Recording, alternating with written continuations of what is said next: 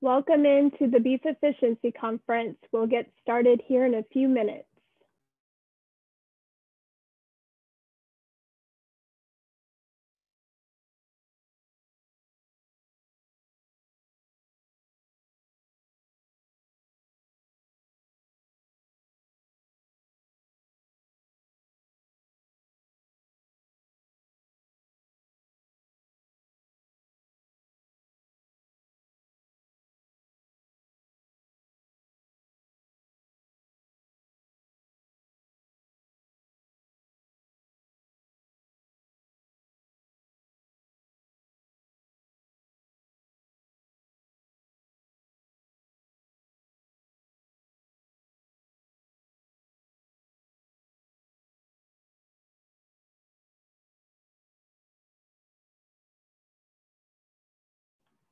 Welcome into the Beef Efficiency Conference. We'll get started here in a few minutes.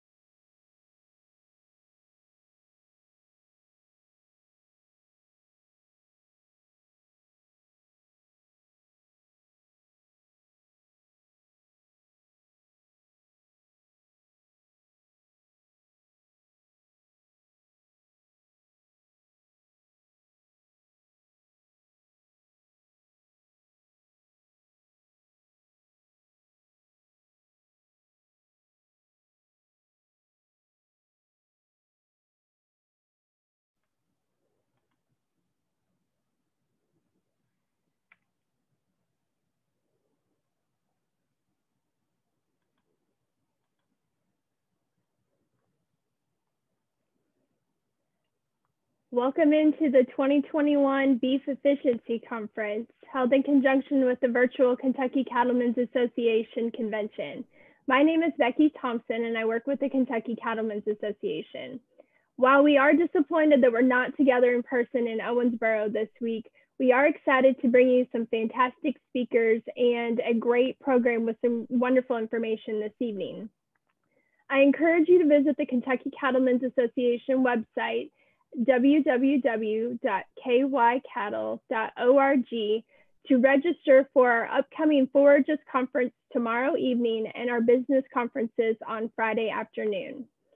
We will be recording tonight's session and we will be posting uh, the videos of our speakers' presentations later on this week on our Cattlemen's Association website.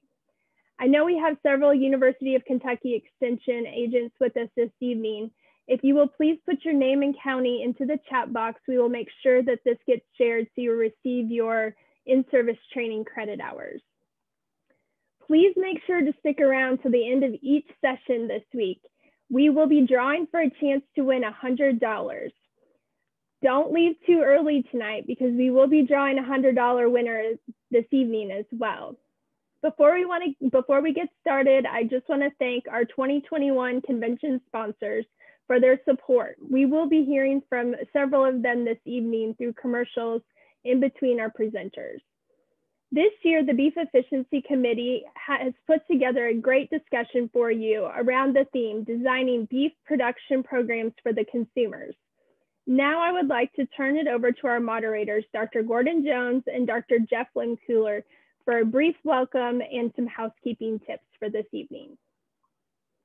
Dr. Jones? Oh, you're muted. There you go. welcome everyone to our 2020 Beef Efficiency Conference.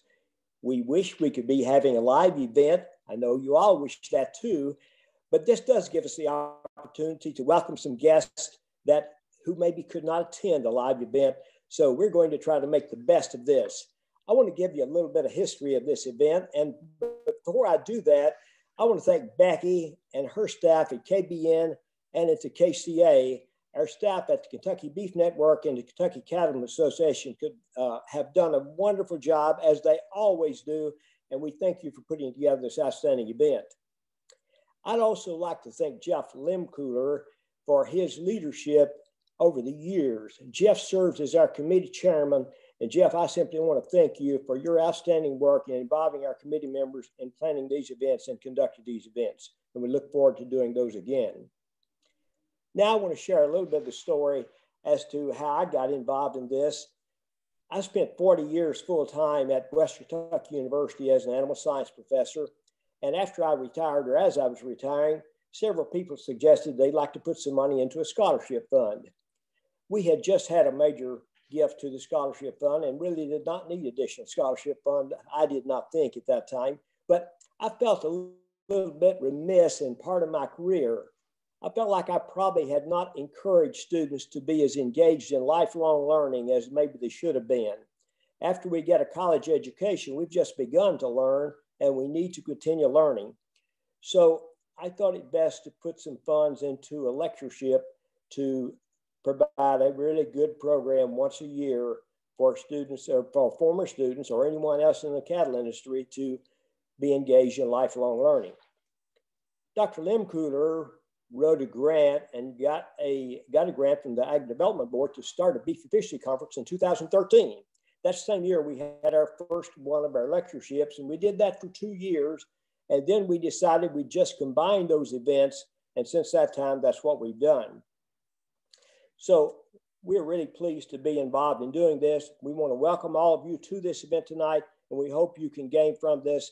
And I would also say that our first uh, seven events generally were events planned to improve production management on cattle farms.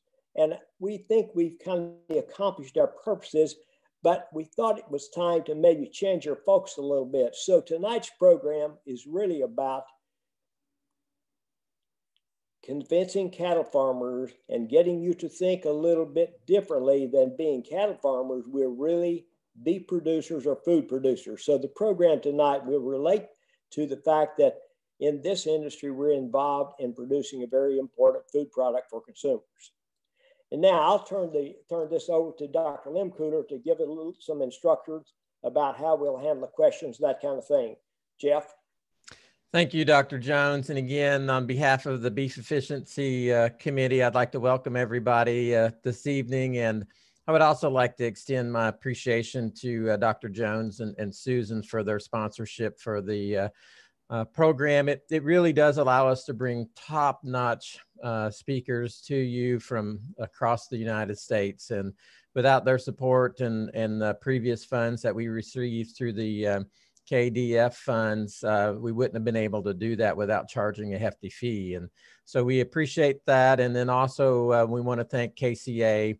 Uh, KCA stepped up right away and, and offered to have our program in conjunction with them to help us reduce overhead costs and facilities. And so I just want to thank KCA for their continued support as well. Um, as we go on this evening, um, You'll have the opportunity at any point in time to enter questions for our speakers using the Q&A. And Becky, could you cue that for me? We're going to show you um, the opportunity here that you'll have. So questions for our speakers should be submitted by using the Q&A. Um, some of you that are using a phone or an iPad, you may have to touch your screen. And once you touch your screen, uh, generally at the bottom, you'll see um, a Q&A box and you can click on the Q&A box and then begin typing in your question. Um, we will also, in the event that you hit chat mistakenly, don't worry.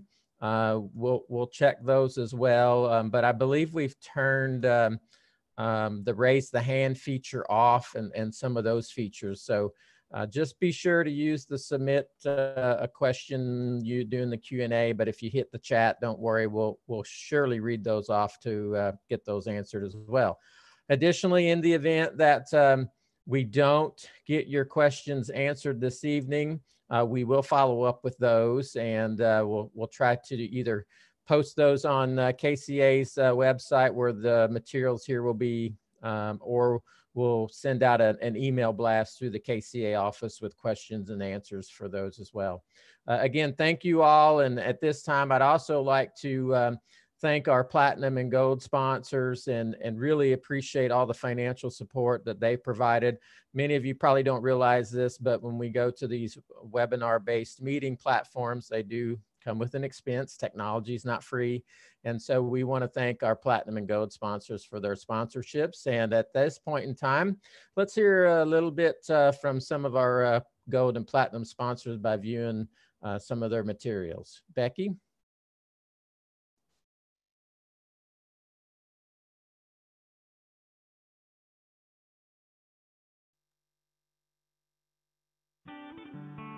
Red Hill Farms, the home of practical genetics, will host our More Than a Bull sale on Saturday, March 20th, featuring 70 Red Angus, Sim Angus, and Charolais bulls. We provide our customers a full service genetics program, more than just a bull. Follow us on Facebook, visit our website, or contact us to learn how we can help you improve your profitability in the beef business.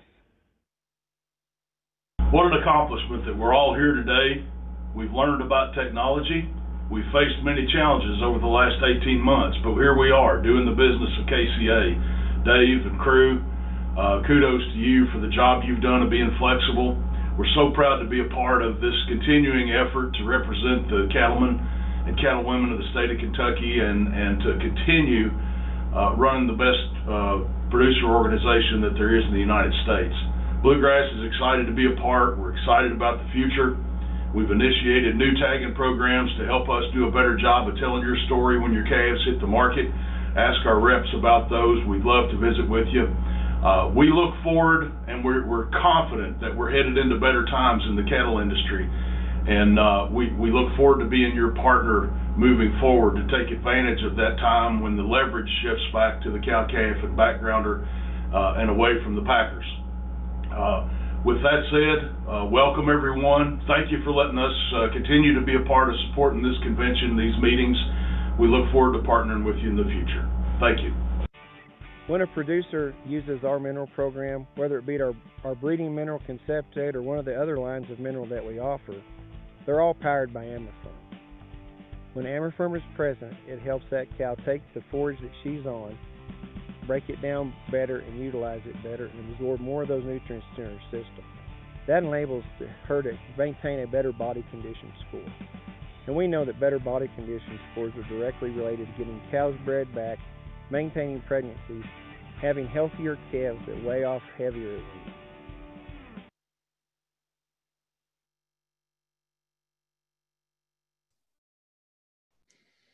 Well, again, we certainly want to thank our sponsorships, uh, and uh, we'll have more um, uh, words from them as we go through the evening. Uh, just as a reminder, uh, all of our county extension agents that have joined us this evening, if you would just type your name and county into the chat box, we'll be sure to uh, put those names forward for your in-service training credits. It's my pleasure this evening to introduce Shawn Darcy. Uh, Shawn joins us from uh, NCBA this evening, and Shawn is the Senior Director of Market Research at uh, NCBA. Uh, the market research team really kind of has the role of, of helping enhance a, a range of uh, beef checkoff funded work. And I think that's one of the things that uh, you'll learn a little bit this evening about how your checkoff funds are being used to enhance product development, product marketing. And also, one of the things we don't like to maybe think about or we don't spend enough time thinking about is trying to work with our consumers and bring insight uh, to consumers uh, when we're thinking about um, or, or, getting feedback from consumers when we're thinking about some of the management issues that we're dealing with and some of the production and nutrition as well as the uh, communication efforts that uh, we as cattlemen and the cattle industry need to be thinking about to help better communicate what we do to our consumers Shawn has over 11 years of market research experience. He's conducted hundreds of consumer uh, studies in his career. Uh, his topics that he's worked with have ranged from consumer perceptions regarding how food is raised, consumer segmentation, uh, food preferences, food service and retail trends, new product opportunities, advertising evaluation, messaging, and brand insights. Prior to NCBA, Shawn worked uh, for ComScore ARS, where he was an account manager of market research on the company's top pharmaceutical and consumer packaged good accounts. And prior to that, he um, spent some time as an assistant store manager here close, uh, working with Kroger's in the Cincinnati division. So he understands our region uh, and, and knows a little bit about some of the consumers in our area as well. Uh, he received his BA from the University of Northern Colorado there at Greeley. And uh, Shawn loves being uh, at home in Colorado and uh, he enjoys spending time with his family. His wife and he have two children. Shawn, on behalf of the Beef Efficiency uh, Conference Committee, we'd like to welcome you this evening and look forward to your presentation. Thank you. Happy to be here. Becky, if we can go ahead and start Shawn's presentation. Thank you. Good evening. I'm Shawn Darcy, the Senior Director of Market Research at the National Cattlemen's Beef Association. We're excited to be here at the Kentucky Cattlemen's Association Convention this year. Hopefully everyone's 2021 is starting off maybe a little bit better than 2020 went. Uh, we're excited again to be part of this session. Yes, we do wish we could be there in person, but I think we have some great insights that might help set up Uh, some of this convention and mostly in the minds of consumers. And that's what we're focused on on the market research team here. You know, what if they say they need and they want? So we'll just go ahead and jump into some of this data. We want to do an overview of just generally what we are hearing from the consumers. And then we'll make a shift into more production related market research and what we've seen lately in that area, specifically around beef quality assurance and the beef checkoff launched a program along the, along these lines last fall. I think we can use this as a great success story on how we can set up future production stories with the consumer and help educate consumers on that topic. And then, of course, we'd be remiss if we did not address what we're seeing with data and with the consumer during COVID this last year and, and how that may change going forward and what you should expect from the beef checkoff. Into the consumer landscape, we run a consumer beef tracker here at National Cattlemen's Beef Association. And again, that is run on behalf of the Beef Checkoff. And one of those, it's an attitude and usage tracker. 500 consumers a month come in that we balance to census, so we get about 1,500 a quarter, and it's continuous, so it's always coming in. And what you're seeing here is weekly or more consumption. And so for this year, it's 72% of consumers are saying they eat beef weekly or more. You can see chicken on this scale at 82%. There's a drop off to pork and fish.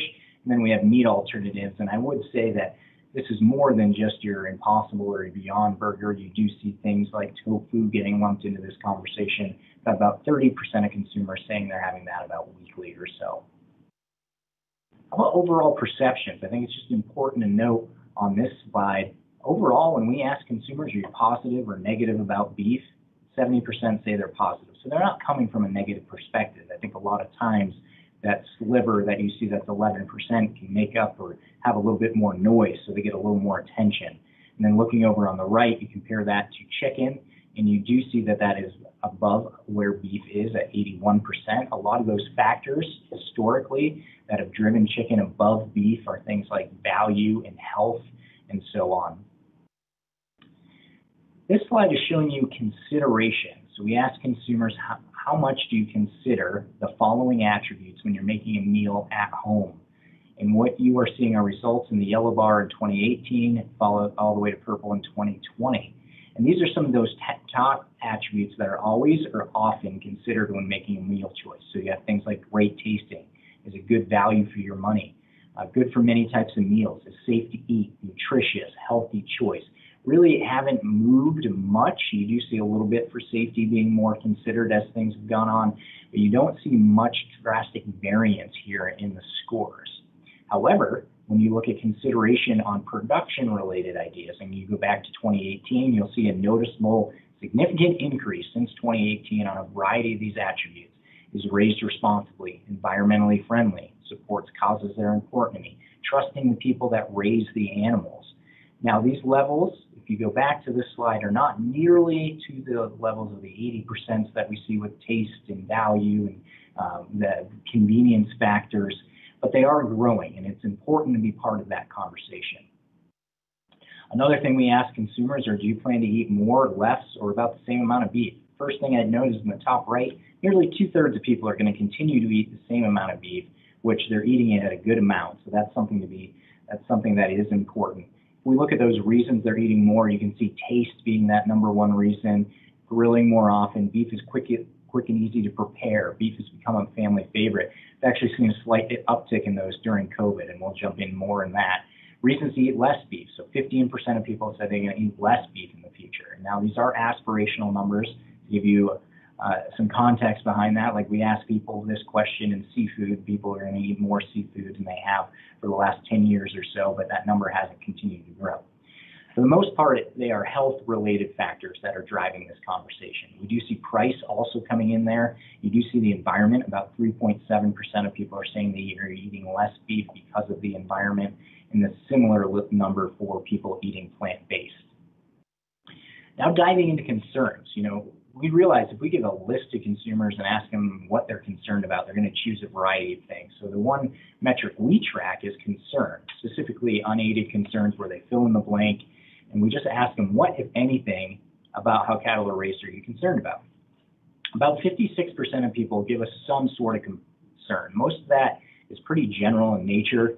You can see about 32% that focuses on your animal welfare. But there's not one other specific topic that hits above 10% worth mentioning at a high level. And these numbers have actually been like that even before this tracker in our previous tracking system back in 2014 and 2015. So these numbers really haven't gone up much.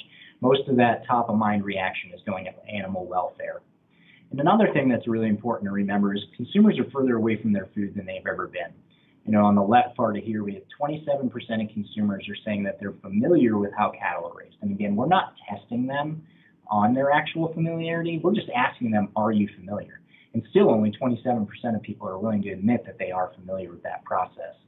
But at the same time, people are considering how their food is raised and grown more than they used to. So 44% are often or always considering that. Another 26% are saying they sometimes consider how their food is raised and grown. So it's becoming part of the conversation. And it's really important for us as the checkoff and other entities to make sure we understand that, but also make sure we understand where those concerns are, like animal welfare, and that consumers are coming from a level of not being knowledgeable. So we need to educate just how cattle are raised before we can talk about topics like the environment and antibiotics, because it would go right over most of our consumers' heads. So we wanted to use this case study, Consumers and Beef Quality Assurance, to help you give a picture of what consumers think about beef production when we get a little bit more detailed.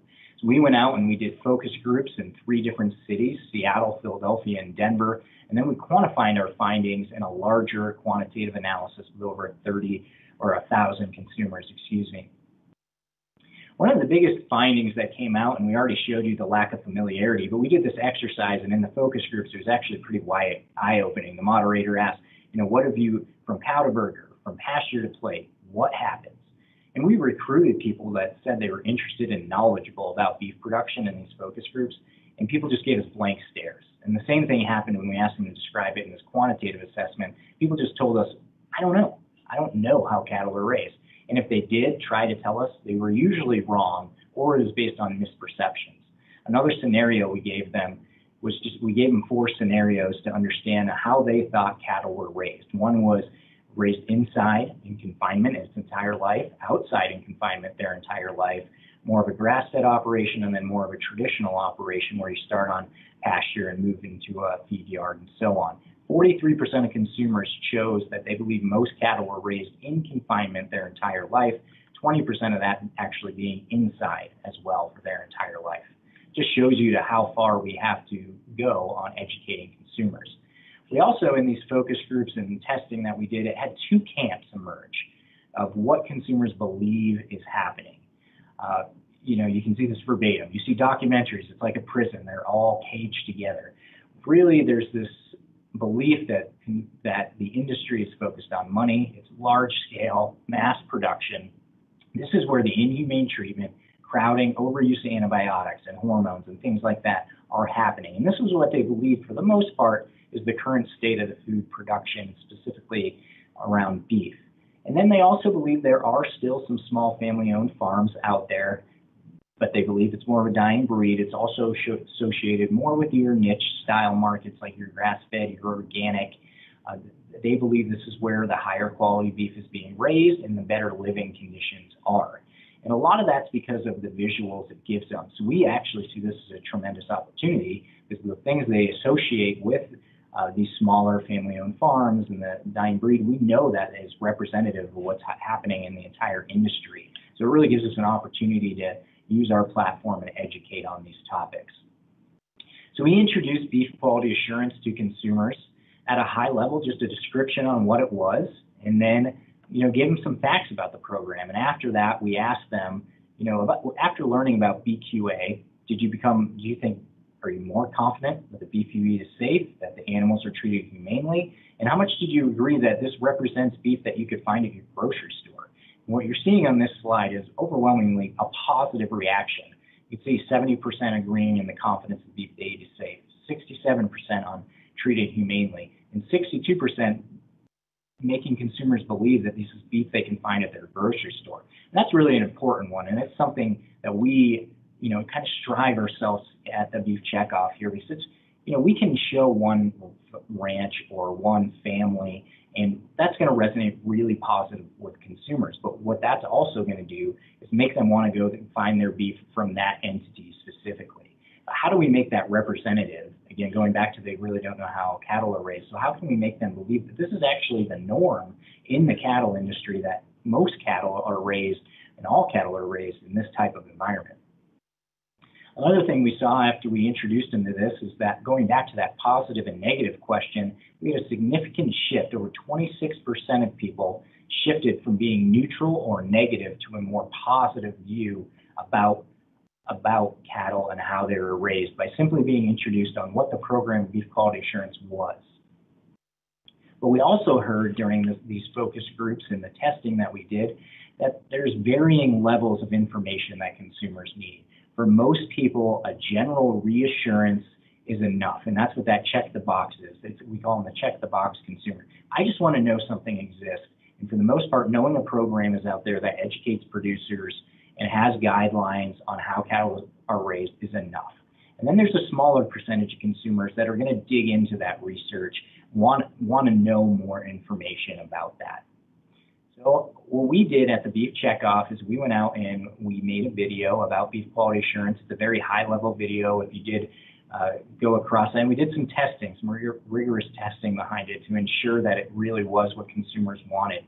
And what, overwhelmingly, what we saw is a very positive reaction. What you're seeing here is we do something called interest tracking, where a consumer takes their mouse and they drag their interest over the course of the ad that they're viewing and we saw an overall positive sentiment towards this ad throughout the entirety. Even at the end, you know, our Beef It's What's for Dinner brand and our sign off with that do, do, do really has a strong performance um, for our advertising. So it really is a good connection, even with something along the lines of production. And most advertising, if you were to see this um, for other products and entities, you see it tail off towards the end of an interest tracking platform. The other thing this led us to is to understand that there are those consumers that want to know more. So yes, this video that was high level and educated on the beef quality assurance program was that initial step. And for a lot of people, that was enough and it did really well. Again, shifting a lot of those positive sentiments for us. However, for those people that wanted to know more, they could click through that video or some of the other advertising and just go to the Beef It's What's for Dinner page, learn more about beef quality assurance, and give another level of detail. And now for those people that did want to learn more than that, we had a link at the bottom of that page that could bring them to the actual beef quality assurance website where they could look at the guidelines of antibiotics, where they could dig into all those details. Now I can tell you for the most part, most consumers weren't going to do that and, and they didn't. But for those who did, it was there. It leaves a trail, if you will. And I think this is a, a really important setup on how we could maybe move forward. And so the goal of this campaign when it was launched was to help consumers continue to feel good about how beef is raised by highlighting beef quality assurance, specifically the safety, uh, the humanely raised, and the sustainability that goes behind it that consumers can really, really relate to. They want to know what's in it for them in terms of safety and a quality product, but they also want to know what's in it for the animal.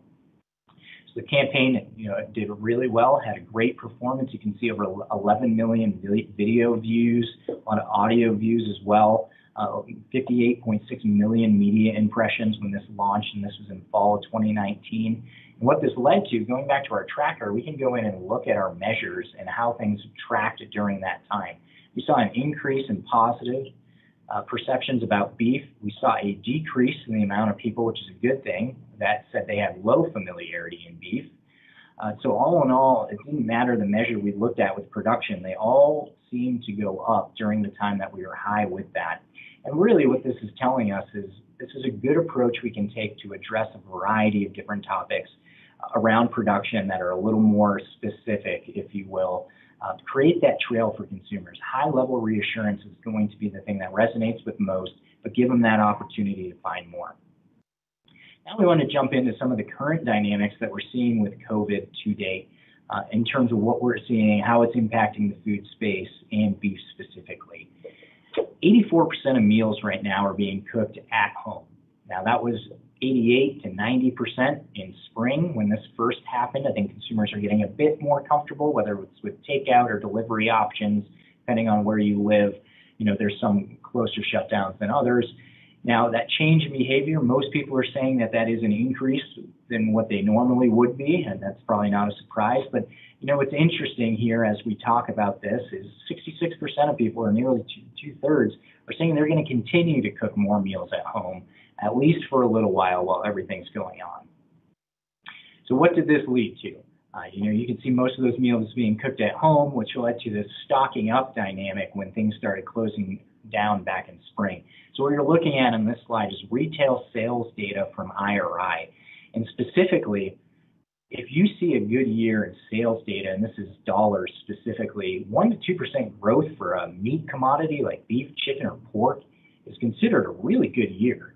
And if you look at these numbers, they're pretty astronomical. I mean, 46, 52%, 37% in April. Uh, we have one week in March where we are 90% ahead year over year. You know, I talked to someone who works in the supply chain as a buyer and a category, and previously as a category manager for one of the top grocery chains. And they said in any one category, if we were 5 to 10% higher than we were a, a, on a week or several weeks in a row, we're going to have warehouse issues and we were 40 to 50 percent higher. So that's what led to a lot of these out of stocks that you saw for a little bit for a little bit there. We have normalized and leveled off. You know, we're getting some of those uh, those September October numbers in that are still about 14 to 20 percent. So when I say leveling off, we're still 15 to 20 percent higher than we typically are. How about the food service? This is kind of a complete inverse relationship. So we were, this is transactional data, so the number of transaction, transactions happening at these establishments. We were 80% lower in transactions at full service restaurants. Were nearly 40% lower during spring with the quick service restaurants. And again, that's normalized or leveled off a little bit and we're closer to that 15 to 10% lower year over year number as of this fall. So definitely doing better. Restaurants did a great job adapting to some of these delivery and takeout options that we had. And all in all, what does this mean when you put it all together? Together, what you're seeing here is per capita net beef consumption. In what our 2020, we're still waiting for official numbers to come in here, but it looks like it's about a pound higher or so on the estimates from 2019 originally back in spring when we ran into some of those issues with packing plants shutting down, we didn't necessarily know if that would be the case. But food service typically represents about 60% of our the beef industry. And retail and what the dynamic that's been there has been enough to overcome that and a bit more this year. So it'll be interesting to see how that moves going forward. But we anticipate next year being a strong year as well. Another thing that's likely here to stay is online grocery and meal ordering. Uh, we saw a large uptick in this when this first started. We went out and did our own research on the topic. We found 67% of people said they were buying groceries at least occasionally online during the peak of the pandemic. 86% said a, a consumer said they had ordered a meal online in some capacity from a food service restaurant. And if you look at that, numbers on the right here, nearly 70% of people said that increased or just started because of the pandemic. And what does this mean is what we've seen is consumers were actually really satisfied with their experiences through that survey. Even even beef specifically and steak in some of these occasions, people were saying those barriers that they used to have, they were actually satisfied with, what they were getting. And because of that, we've sped up an adoption. And what you're seeing here is the compound annual growth rate for the projections on e-commerce for groceries specifically. So this purple line represents what was anticipated, which was already growing, you know, one, two percent a year. But we saw a big jump, about seven percent of retail sales going to the e-commerce space. And now we've kind of restructured how that growth rate will go with another one to two percent nearly every year here through the next three or four years. So it, it is here to stay. Uh, that's we feel pretty confident in that, and will continue to be something that the beef checkoff takes advantage of. Uh, we've done some promoting, whether it's recipes and so on, that consumers can look at through this summer and at winter as well, this previous summer and winter. Another thing, just to show you some more of that data, you know, at the beginning I showed you that weekly consumption. Well, in 2019, 67% of consumers were saying they're eating beef weekly or more. Now that average that I showed you was 72%, and just for 2020. And just to see how those numbers have trended, you can see it peaked in spring. But overall, consumers are eating more beef than they did a year ago. And I think that's just a positive story that we can hang up on when, when they were kind of pressed to the wall. They wanted to have beef in their freezers or in, in their fridge so they could rely on that product. They consider it a great value. Uh, it helps mix up their meals. Very versatile, especially for ground beef specifically even willingness to pay. I mean, consumers are not spending as much, at least currently, on activities out of the house or at food service. And you can see their willingness to pay trends at retail for ground beef and for steak went right up along with prices. Now, prices did go up in May and June and started coming back down a little bit and then started going back up again in November. But you can see consumers are riding that train right along with it. You know, they're not spending that money, so they're willing to almost trade up and spend a little bit more at retail to help mix up those meals during this time. And when even when we looked at perceptions, and this is positive production perceptions and how people feel, again, 2019 our average was 38%. We only had one week, and that was during the beef quality assurance campaign previous to 2019, that we had over 40% of people feeling positive about how beef is raised. And these numbers nearly hit 50% in several weeks in 2020. So overall, consumers are not as negative and not as concerned about production related reasons, at least temporarily during all of this. A lot of that can just be that there's a lot on the consumer mindset right now, uh, whether it's thinking about the economy for a little while, your job security, kids going back to school, obviously the pandemic as a whole. At least temporarily, maybe those things are making consumers not think as much about how their food is raised or at least as negatively about how it's raised. And there's been a lot of tremendous opportunity. Uh, a lot of other things, you know, we we're asking about were what can encourage, you know, keeping beef in those in your freezer? What can make you purchase more beef options? And really, what we're seeing is consumers are looking for those ideas, those meal ideas, quick and easy meal ideas, meal prep. Um, you know, how to use products in your pantry. You can even see ideas on how to use ground beef, and ground beef's been a huge success story where it's represented over 43% of that additional dollar growth that we have seen in retail. It's also something that represents our versatility and our convenience, and that's really what consumers have been looking for and what has been driving meat consumption during the pandemic. And ground beef has been a great answer for that.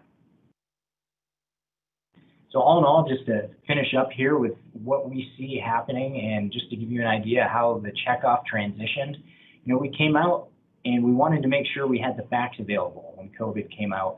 Uh, you know, so we had a place on our website for consumers to go about coronavirus and about some of those frequently asked questions specifically that might come up. But also a big focus became what we just touched on, making sure consumers had what they needed from us in terms of popular dishes like classic meatloaf, burgers, meatballs, things that they could cook with that ground beef they had on hand, and some of those roast and steaks they'd be stocking up on as well.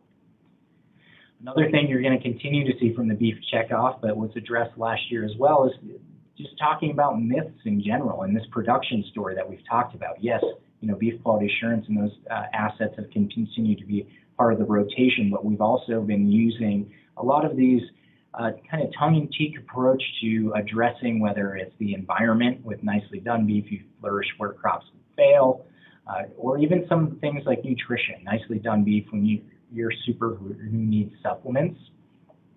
So just to give you an idea, these will still continue to be there while consumers are thinking positively and eating more beef. We want to be top of mind with consumers.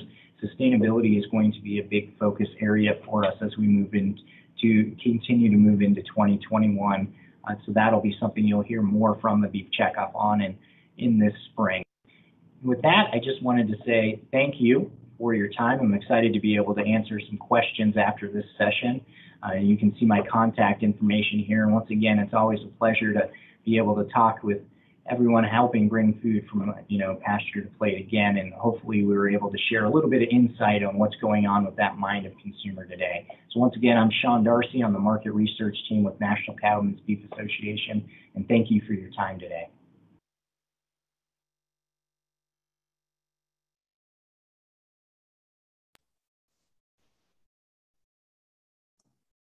Well, Shawn, thank you for a great presentation on market uh, research that's uh, out there. And again, just as a quick reminder to folks, uh, if you've got questions for our speakers, we are going to answer um, uh, two to three of those, and then uh, we'll give you all time to type those in. And all of our speakers will remain on board this evening until the end. So that will give you all plenty of time to uh, think about questions through uh, this evening. Shawn, I've got a, a, few questions that came in, and uh, the first question is, are there any particular cuts of beef um, that seem to be moving up more than other cuts uh, in the retail side? Oh, you know, that's an interesting question. Can I, can we say all of them? Uh, you know, it's it's hard to identify one specific cut, particularly this year because the sales have been so high across the board. I Think about five to six billion dollars higher just for beef in the retail space. Uh, ground being about 43% of that increase that we're seeing. But across the board, you're seeing 15 to 26% increases on most of your state cuts. You know, I think ribeye was up 10%. It's so hard to tell because your big selling steaks look like it's a smaller percentage, right? So your strip steaks, your ribeye steaks, and so on are about 10% higher year over year. Your tenderloin, you know, your filet mignon, your tenderloin steaks, about 10% higher than they have been, but they also represent most of the volume. Uh, so your flank steaks, your strip steaks, a lot of those smaller and less volume cuts do show a larger increase, but it's just because they're really buying up everything this year. I have another question that came in. That's a good question that tied into the, the end of your discussion a little bit was, is there any information or has there been any research conducted looking at beef and the potential of them uh, maybe either live animal and or meat product, I'm interpreting the question, to transmit COVID? So the actual cattle themselves conducting it, or consumers believing that that will happen? Um, I think it's actual cattle because it says beef cattle um, basically getting COVID 19 themselves. You know, I can't really speak as an expert to that. We have a beef safety team here, uh, led up by Dr. Mandy Carr Johnson, that I think can speak to that. But I do know we have resources on Beef It's What's for Dinner uh, that, that you can answer on beef, uh, COVID 19 and beef. And essentially, the, there has been research, I think, I don't know if specifically into COVID or if it's been completed, uh, but there are guidelines they've put together on what they believe through the research that has been conducted thus far.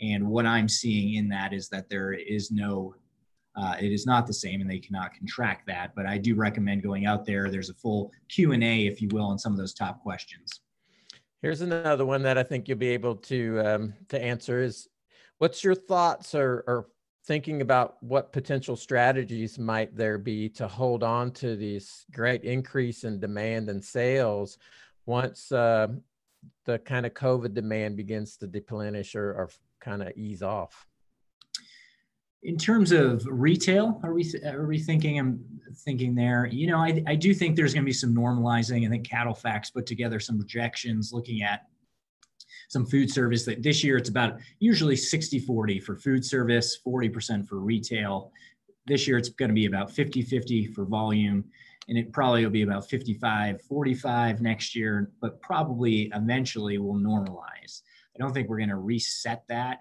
uh, it's more of a su- supply and demand style of issue. The beef that's available probably will be consumed there. Uh, I do think the e-commerce space is definitely something that's here to stay, and that demand specifically will continue to increase. Uh, as we move forward, especially as it relates to the grocery area. People are going to be eager to get back into restaurants, definitely. Uh, but some of these online avenues are definitely going to increase for both of them. And uh, we'll answer one more question before we move on. And uh, don't worry, the other questions that came in, we'll uh, we'll get to those here in a bit. Um, there was a question that came in that uh, Kroger seems to be pushing plant-based foods heavily on their digital coupon platform, while there's rarely offerings for real meat products.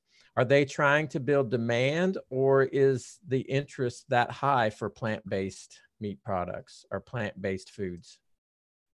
Yeah, that's an interesting question. I don't think I can answer that directly from Kroger's perspective on why they might be promoting those necessarily. I mean, what we see in our data is there, you know, there's interest in those products and there's been an increased interest in those, but it's still a very nominal amount. It's less than 1%.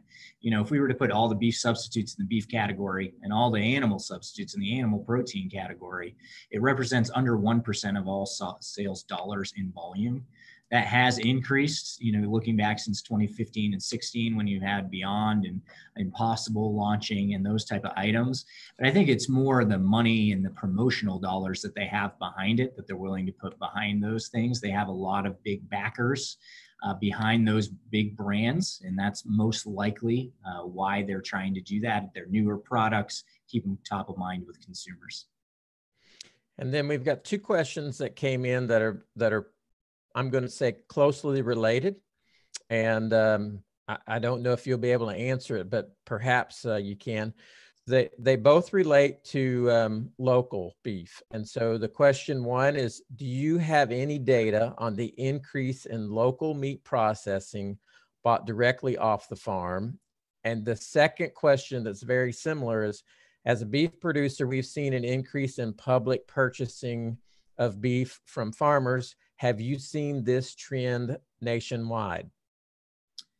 You know, it's interesting. You know, to address the first one, I would say that data is really hard to come by. It's something we're interested in doing and may look at here in 2021 as the beef checkoff. Uh, we have heard a lot of those rumblings as well with consumers. A lot of that uh, goes back to whether supply outages, out of stocks, people you know freezers i think were out of stock forever so there's a lot of people going uh, going and getting freezers and stocking up so they had the means to be able to go out and purchase more product and do things along those lines uh, this, that might have been driving some of that so no i don't have any hard data there we have seen that as well uh, and I think it's something that we'll address uh, as the beef checkoff as we look at it. But I think there's interest there, but I don't. I would say the interest has been across the board. Whether you're looking at butcher shops, specialty grocers, even your mass merchandisers in grocery stores have all increased.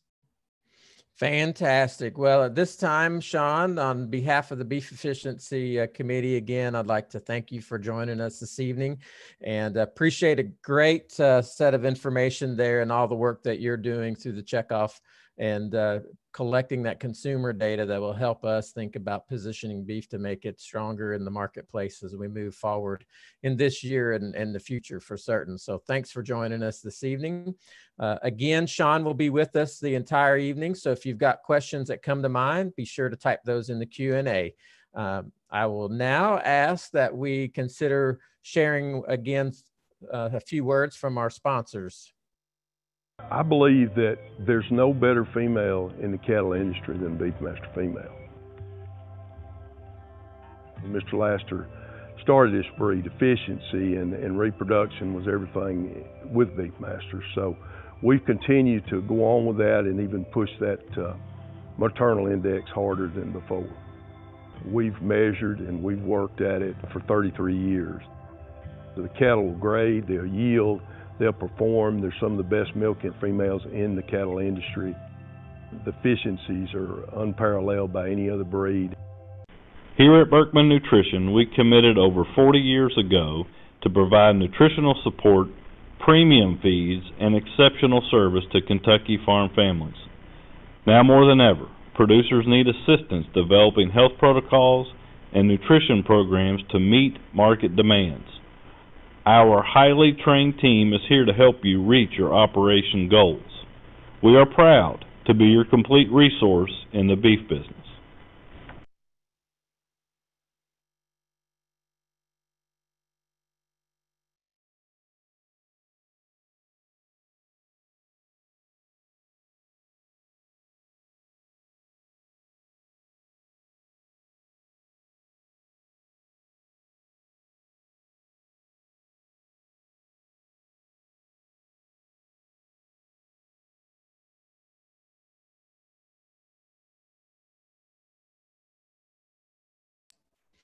This time, it's my pleasure to turn the program back over to uh, my colleague, Dr. Jones, and Dr. Jones will introduce our next uh, speaker. Dr. Jones, take it away.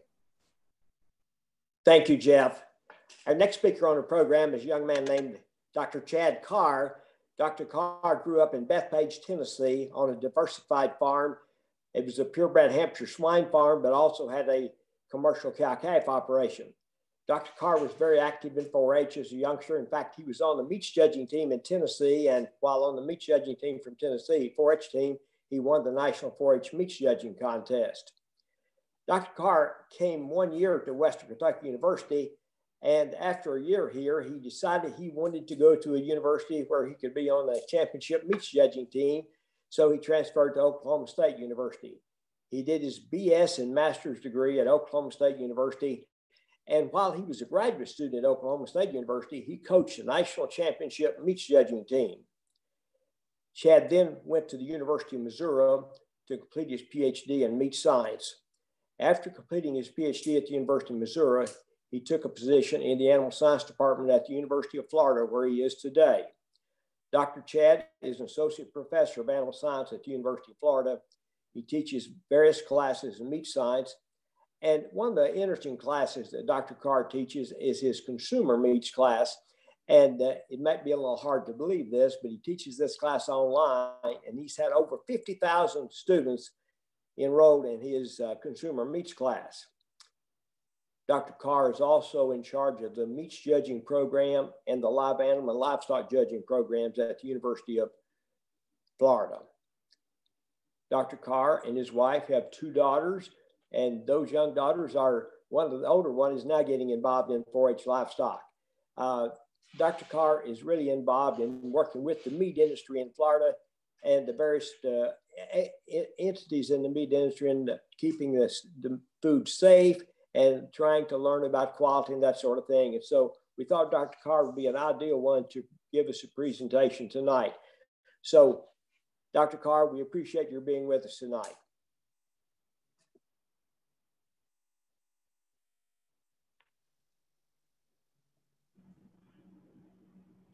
All right.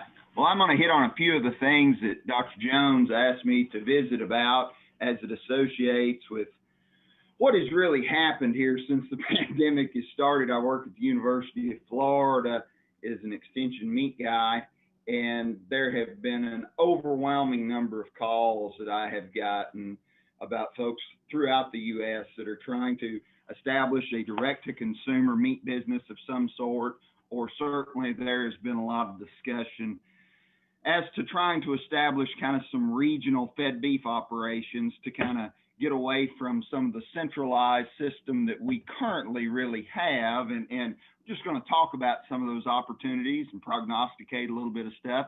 But before we get into that, one of the first things that Dr. Jones wanted me to discuss was to talk about a, a little bit of general concepts relative to, to what we do in this country in terms of our large scale commercial grain based beef feeding and processing business, kind of the science associated with how we produce high quality grain fed beef in the U.S.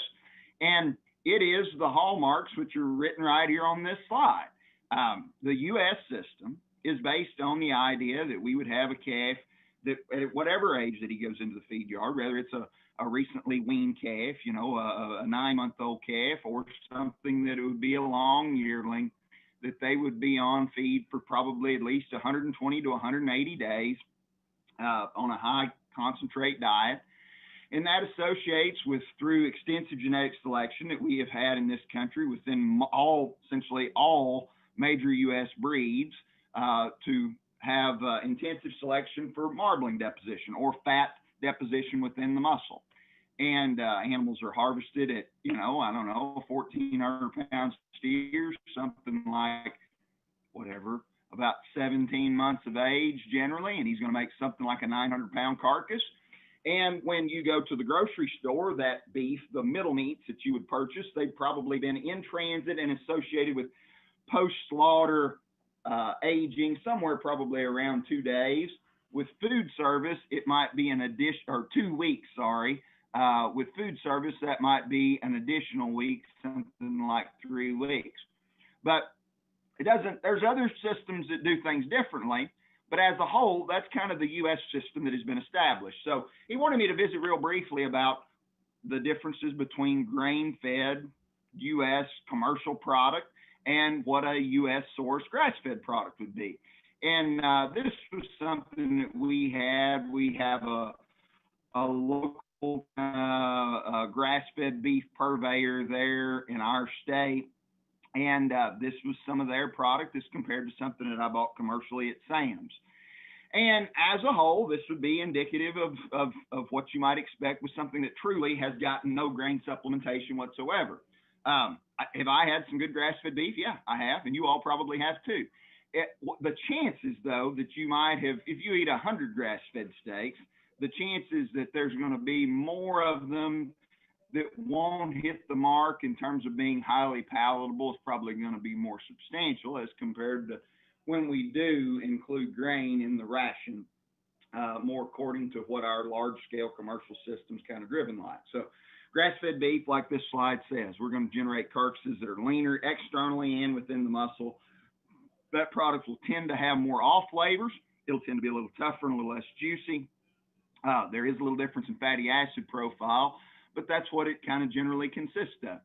And uh, now there are folks that there are Americans that that uh, in, in, surveys that say that they prefer grass-fed product, but sometimes maybe when you put the the added uh, economic disincentive, I guess, the fact that that product is generally more expensive due to the greater production cost, some of that uh, preference kind of runs out of gas. This was from um, this isn't new data. Uh, if we want to establish some kind of pasture fed system, this was work from uh, Steve Mays, uh, Dr. Steve Mays' uh, dissertation at Oklahoma State. And we kind of found that somewhere around that 120 days of, of feeding, that's kind of when we maximize. It takes about 90 days to change yellow fat that we would have from a grass based system to white fat. And then in another month or so, to uh, make the product some have somewhere around four tenths of an inch of fat and improve tenderness there. So the U.S. system, as I said, we're based largely upon marbling, and it's certainly not perfect, but over a wide range, it has application to produce high quality beef uh, as it associates with highly palatable, tender, juicy, and flavorful product. So with dentition, and this is a fairly recent change. Um, USDA FSIS has utilized dentition since 2003 relative to 30 months of age as it associates with BSE and specified risk material. But we've just more recently found that dentition is probably a better indicator of real palatability as compared to uh, skeletal maturity. So those animals which are uh, deciphered by dentition to be less than 30 months of age, they are eligible for the best grades. If they're over 30 months of age, like we see over here where we have uh, those two, the incisors that's coming above, that second incisor coming above the gum line, they might be eligible for the best grades relative to skeletal maturity, or they might be eligible only for the cow grades. So that's over 30 months. And so that's where we utilize this skeletal maturity. The, the biggest percentage of cattle that we have in this country are less than 30 months of age relative to dentition. And so the driver is marbling. This is how it's done today in a large scale commercial system. We utilize instrumentation, and this is facilitated certainly by USDA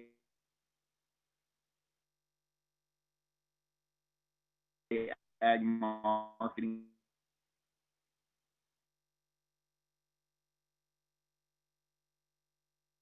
service. But uh, so was some amount of marbling associated with those quality grades. So slight, double zero, that's somewhere around, I don't know, three and a half to four percent fat within the muscle. Small double zero, be the minimum requirement to be low choice.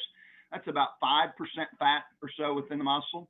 Modest, double zero, that's somewhere around 7% fat within the muscle. And slightly abundant is getting on somewhere around 10% fat within the muscle. That's the minimum requirement for USDA prime. And over a wide range, like I said, the quality grades are certainly not perfect to predict uh, high quality beef, but it does a good job. And uh, this is work from Mallory Emerson's work uh, when she was a graduate student. Dr. Tatum's the last graduate student at Colorado State. And uh, we can just see as we scoot along here. So premium choice would be modest or more, and uh, that's looks pretty good. Uh, low choice looks pretty good, and in this particular work here, relative to overall consumer satisfaction and um, select didn't look that good. So, but uh, there's that. One of the other component associated with the uh, dentition and the age, as an animal gets older, the collection of connective tissue that organizes around every layer of organization of an animal's muscle, it becomes more intricate. Okay. And there will become more collagen cross links there around every organization of that muscle. Like it's talking about more pickets in the fence. And then that product will not be as soluble. The tender, the that collagen will be less soluble as we cook it, and you'll pick it up as more connective tissue and that kind of that uh, elastic band. It just kind of gets bigger as you chew it. That's that continued component that we have there with connective tissue. So, uh, in terms of external fatness and how that associates with quality grades, so over this shows this is from the 2011 uh, National Beef Quality Audit. So when we get an animal, uh, you know, depending upon their genetic predisposition, they probably have to have about um, 35 hundredths of an inch of fat to have much confidence in their uh, ability to grade choice. And if we have some dairy influenced cattle, it'd be a little bit less. But for most English and continental influenced cattle, that'd be the threshold up to somewhere around six tenths of an inch of fat. The incentive that if we look here in terms of the percentage of grade choice or better, when we get more than six tenths of an inch of fat, uh, as it associates with grading choice or better, it, it's not that good. So we want to have enough fat that we would have some confidence in their ability to grade choice externally, um, but not so much that we have to trim a lot off. Because when we get past this six tenths or so inch of fat, we're going to darn sure when we get past eight tenths an inch of fat, we're going to get into cattle that will receive discounts relative to the amount of fat trimming they'll have to have prior to generating pieces that'll be shipped to food service or purveyors, retail, etc. That'd be a yield grade four, or uh, even worse, would be a yield grade five. So we got to have some external fat. And so uh, this is just some stuff from class that we had. So we have kind of an underfinished uh, continental influence steer there on the top left that generates a barely select carcass. It's real high cutability. Uh, one that's kind of on target here. Here's an old slide down here of a yield grade two select steer, and you kind of see its composition in a yield grade five, turn back the clock guy there that's um, really, really low cutability. So we kind of have to hit the, the sweet spot there in, in terms of what we're going to do. in terms of how the U.S. system works relative to managing tenderness, it's almost done indirectly. um, and so by the time that we get wholesale beef subprimals distributed around the country or headed to export whatever we're doing, almost invariably that product will be at least at 10 days post-mortem age. And we can see this is what goes on in terms of post-mortem aging and its relationship with beef tenderness. So early on, uh, those enzymes, those calpains enzymes, we've not allowed them time to really work um, and to break down those sarcomeres there at the edge of those muscles to improve beef tenderness over time. It takes a little time for that to occur. And 4.5 kilograms, that's what we're showing here on the left hand side. That would be 10 pounds. If we're less than 10 pounds, people perceive that as being tender. Uh, so we start off a lot of stuff. We'll start off eh, okay for tenderness there, early, early post-mortem. But with time, those endogenous enzymes, when we age that product in a vacuum seal bag, or if it happens to be dry aged or whatever the case may be, by the time we have tra- it transported to wherever it's going, we've really improved the tenderness and it's probably going to be pretty acceptable uh, and will be tender by the time that it gets there. This is based on some stuff just on the ribeyes, but there's that. So that kind of hits on some big picture stuff about the U.S. system. It's based on uh, grain-based beef, uh, grain-based feeding, uh, the importance of marbling as it associates with generating that grain-fed, buttery fat flavor, uh, post-mortem aging, just making a highly palatable product. Okay, it doesn't have to be that way. There's other things that can work, but um, as a whole, that's a blueprint that works pretty well. I'm going to change gears here for a little bit and talk about opportunities if somebody wants to start their own niche meat marketing program. Uh, there's some challenge there. Uh, and I, with the pandemic, pandemic since it's hit, there's been a lot of folks that are just trying to merchandise their product purely as local. Uh, I'm going to quote my good buddy, Dr. David Newman. David, he's a hog guy, and uh, he's currently the president of the National Pork Board. And David, they are in the niche pork business. And David says, in his opinion, and I probably tend to agree with him, for the long haul, uh, if you plan to have a niche meat marketing program, that you probably need to do something other than just local. There probably needs to be some other credence values that you're heading toward. That's not definitive. That's his opinion, but I kind of tend to agree with it. Um, but you kind of got to figure out where you're going to go with it and the demographics that you're going to have uh, for your target audience. So if you want to, you got you got 100 cows, and we want to merchandise um, whatever the biggest portion of your steer calves this year is freezer beef, and you have the commodity resources to do that, that's an opportunity, right? Uh, today, it's challenging. Today, uh, it's challenging to be able to get a spot to merchandise to have your uh, cattle slaughtered and converted into component pieces. If that product, if it is slaughtered and fabricated into component pieces, and we've got a label and an inspection bug on it, it can be sold legally on a piece by piece basis. That can happen. If you want to say you're going to sell them the whole animal or a portion of the animal, that can be custom. And if you're going to do less than whatever, 30 to 50 a year, um, I think you can do that, right? I mean, I, I think there there's some opportunity for that. You gotta gotta be willing to work hard and hustle and peddle your wares. But uh, I, I've seen instances of lots of folks that have had some success doing that. I think, in my opinion, I think the the application of science that we talked about in terms of consumer satisfaction, I think it still applies here, but I think there's some opportunity there. Now, in terms of what some of our folks in our state have done in terms of trying to establish a regional fed beef system and establish something that is beyond freezer beef, there's some challenge with it, right? Um, there is a reason that we have 900,000 900, calves in our state uh, in Florida that largely, um, 90% of them or so, go to the middle of the country for those subsequent stages of production. It's been cost effective, right? And so to make that work, and in some ways, you all in Kentucky would be set up pretty good in terms of having better access to feed resources than we do in our state for sure. Uh, I'm not that sure about how many folks historically in the state of Kentucky or in this part of the world have had much experience feeding fed cattle. That's one thing that's interesting about our state that we've actually had some not not that long ago. Some of the challenges that I've dealt with with some of our big ranches that are trying to establish a branded beef program, you got to have a year-round supply, right? And uh, if we have all of our calves born within a you know 45 day window in the fall, when we have some that calve in the spring, well, the, the it can work, right? Uh, but it, you kind of got to spread that out year round. We have done some things with how uh, we have merchandised cattle to try to minimize labor resources and challenges there to, that actually work against this a little bit.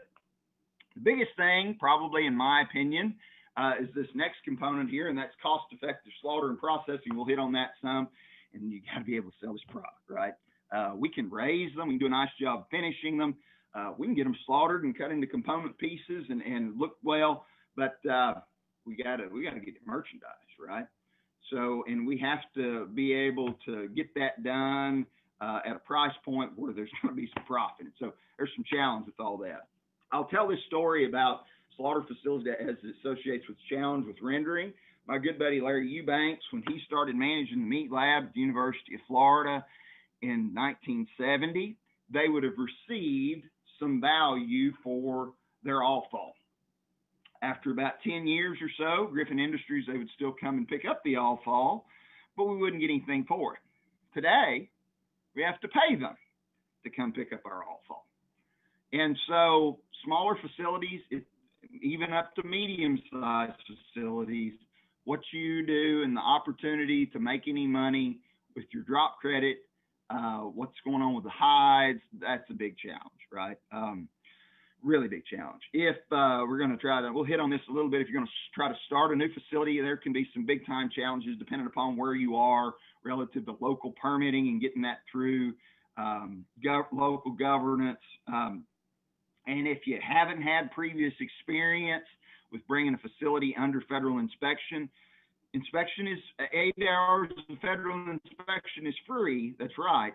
Uh, but if you haven't been down that road, uh, there's there's some challenge with some of that. It's not uh, uh, it's not it's it's uncharted territory for somebody that hasn't been in that direction. Here's a big thing here. I know that you all uh, have heard a little bit of this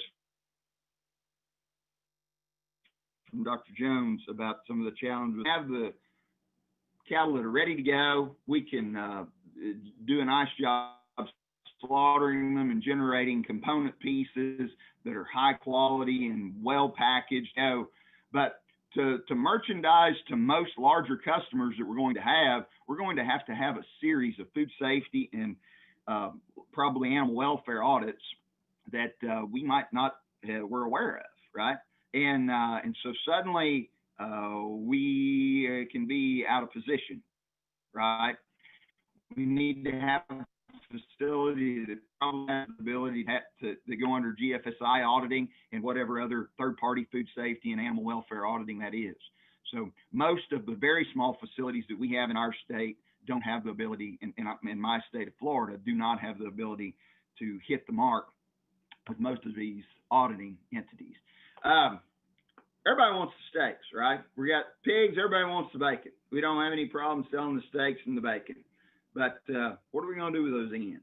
That's where the value, that's where the bulk of the, uh, that's where the bulk of the tonnage is. What are we going to do with the offal, right? Uh, how do we do that to make that work? Other things. So um, labor is a challenge for everybody doing everything agriculture, right? Small facilities have folks that have more experience and can do more things and uh, associated with a whole cascade of stuff as compared to uh, just doing this one specific job, right? And uh, it's hard to find that labor. And here's the other thing, and, and, you all are familiar with this. If um, who, who's our competitor here? If uh, if our competitor is Tyson Fresh Meats, JBS, Cargill, that's a that's a tough sell, right? It, it's uh, in terms of the commodity size, scale, and efficiency that they have, uh, our price points are not going to be the same. And uh, that, that's a real challenge, right? Now, with that, some of the opportunities you all have, I think you guys have a real good start with this strong uh, bulk count beef market that you all have and are adding some value to that. So that's that's that's excellent. As I stated, maybe as compared to us in uh, in Florida, you all probably have a little bit better access for price-effective commodities and uh, feed resources than we do. You all certainly have genetics associated with generating quality fed beef, and so those things are all positives. But uh, I don't know. I want to hit just a little bit here, and I know nobody has said anything necessarily about building a processing facility, but if you do, I just want to hit on a few things. You need to do a feasibility study, and you need to get with somebody that really knows what they're doing. That's what I'd suggest you to do. Uh, this nichemeatprocessing.org website, they do an awesome job, but this is expensive. All right. Everybody, there's been a lot of excitement. Oh, we're going to build a packing plant. Okay. All right. Um, talking about a lot of money, right? And uh, it can get legs quick uh, Rob Maddock and Travis Maddock. This is uh, the, these consultants that they have worked with there in North Dakota. This is kind of where they were, somewhere around this $400 per square foot.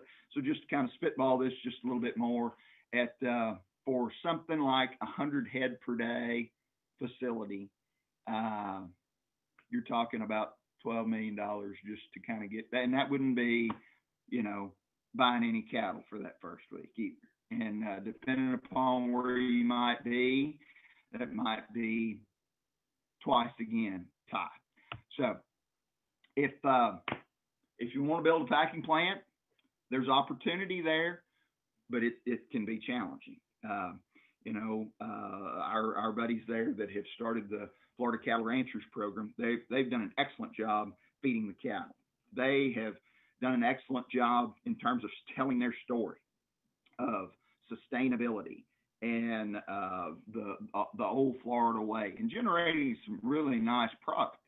But um, the you know to have the where the the mass and tonnage to to be able to merchandise um, all that a large commercial processor can. You know, if you got whatever, uh, if we're going to have I don't know uh, melts or uh, kidneys well, we got a few here. We killed. We, got it takes tonnage to be able to merchandise that and export it. So, um, just something to consider. So, who are what if you're gonna try to have a branded program?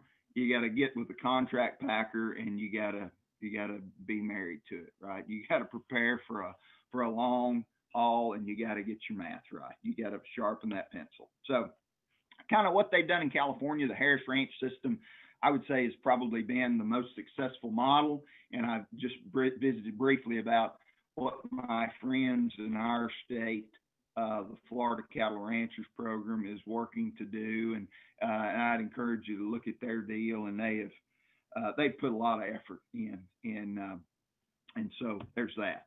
Take home here.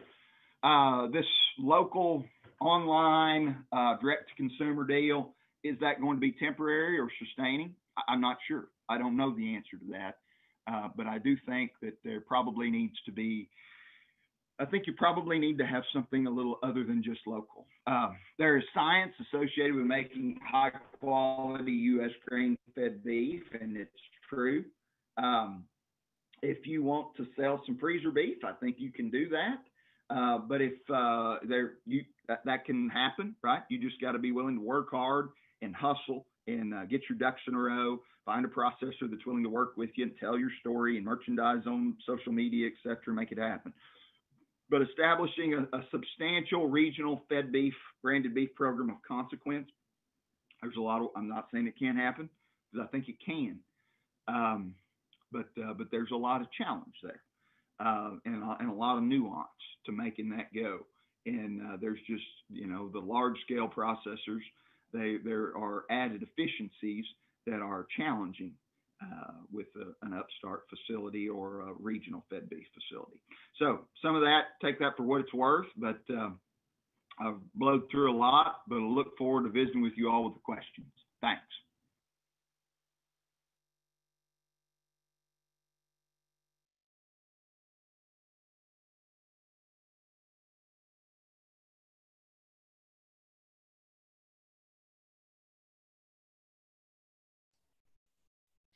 Thank you, Chad. That was a great presentation and covered a lot of different aspects there. I think Dr. Jones will be uh, coming back on here in just a second with us.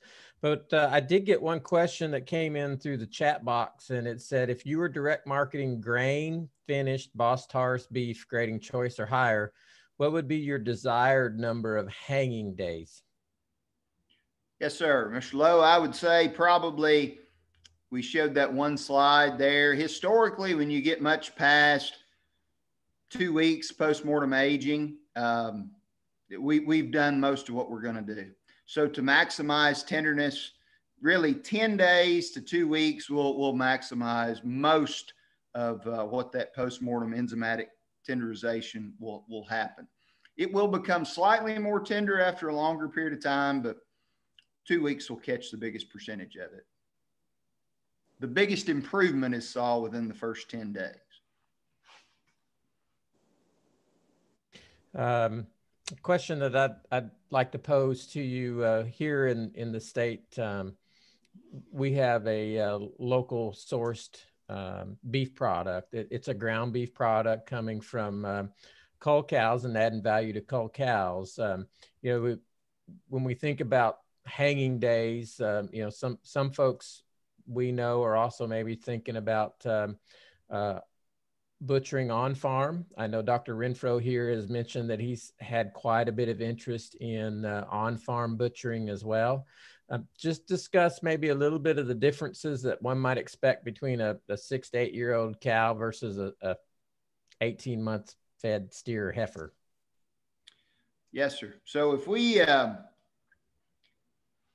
the primary difference you'll have between, let's say that we have to Dr. Lehmkuhler to kind of put them on the same plane, let's say. Let's say we have an eight year old dairy cow, okay, that's been on a high plane of nutrition, but she's a repro slaughter. She's a repro cull. Okay. She's, she's, she's too fat. Let's compare her to that 18 month old steer. So they've been fed almost exactly the same. The taste of that product will be pretty comparable. It might be a little stronger, somewhat stronger with that seven or eight year old repro. Not that that many dairy cows are going to be uh, culled at that age, but let's say we do have one that is culled at that age. Most of the difference that we would have would be in the tenderness of that product, which would be due to that uh, greater amount of collagen cross linking that we would have in those uh, in that aged cow. So we showed real briefly what goes on to the vertebrae of uh, along the backbone. It's the same thing that happens to us when we age, and that uh, collagen or that um, uh, the connective tissue, it will start to ossify. And that's also kind of concomitant with what happens with that connective tissue around those muscle fibers. And it's just less soluble. And so it'll be substantially tougher steaks. But there's, you know, those cull cows, we, uh, we do quite a bit of stuff here with the cull cows uh, in the, our operations here in this state with some of our larger ranches, particularly with kind of re-alimenting those cows for, you know, 60 to 90 days and uh, taking that yellow fat, putting them on a high plane of nutrition. They can probably add, you know, 50 pounds of carcass within 60 to 90 days, uh, depending upon how you implant them and how you feed them, et cetera. And you can you can take a, a pretty, you know, an okay cull cow, but really add quite a bit of value and make some still pretty highly palatable middle meat steaks, particularly if we uh, help them with needle tenderizing or tropical plant enzymes, something like that. Great. And uh, Mr. Warren Beeler wanted to, to let you know, great job. And uh, he also wanted to follow up on that and that we've had success on, on adding value to those cull cows. Have you seen any examples of this in Florida on trying to uh, market cull cows? Yes, sir. Yes, sir. We, uh, our largest processor in the state, we've kind of had some jockeying around here, but uh, uh, Central Beef, when I moved here, they were slaughtering, oh, 350 cows a day. And then probably to about four years ago, they got into slaughtering about 900 cows a day. And uh, then they've shut down and it's been sold. And now uh, they're back to operating. But yeah, they're, they're almost exclusively a cull cow operation. We don't have anything with that facility, though, that is specifically marketing a Florida product. What I talked about with Florida cattle ranchers is a group, uh, they probably account for about 200,000 mother cows in our state. And we have three feed yards. When I moved here 13 years ago, we did not have a commercial feed yard operating at that time. But uh, not all 200,000 of those animals are coming through uh, this other processor that we have in the state, but they have established a, um, a branded fed beef program. And, uh, but like I talked about, probably the biggest challenge that they have had has been, you know, getting rid of their grinds. That's and to do that at a price point that it's cost effective for a, a pretty modest size processor. That's great insight. And, and had another question that came in that you mentioned Harris Ranch as a success story. Uh, what is their niche or their business model that made them successful? Well, they they live in California, and uh, and so they're pretty geographically isolated. I live on a peninsula. We're pretty darn geographically isolated. And so they, uh, they built this business and, and drove it around the idea of, you know, uh, this is a California generated product. And um, it's been quite a success. And they, they're somewhat integrated. You know, they don't have any mother cows to my knowledge, but they certainly have a, a substantial feeding operation and then there's other outfits which uh, which are feeding, you know, some dairy calves in that part of the world, which go into that product as well. So, but um, yeah, it's worked pretty well. It has worked pretty well. Fantastic. Well, um, uh, Dr. Carr, thank you for your presentation this evening. And um, We'll, we'll continue to take questions. Uh, just as a reminder, if you've got questions for uh, any of our speakers, just be sure to type those in the Q&A box and we'll get to those. Our speakers are hanging with us this evening the entire time. And at this time, uh, Becky, let's uh, hear some more words from our sponsorships uh, this evening.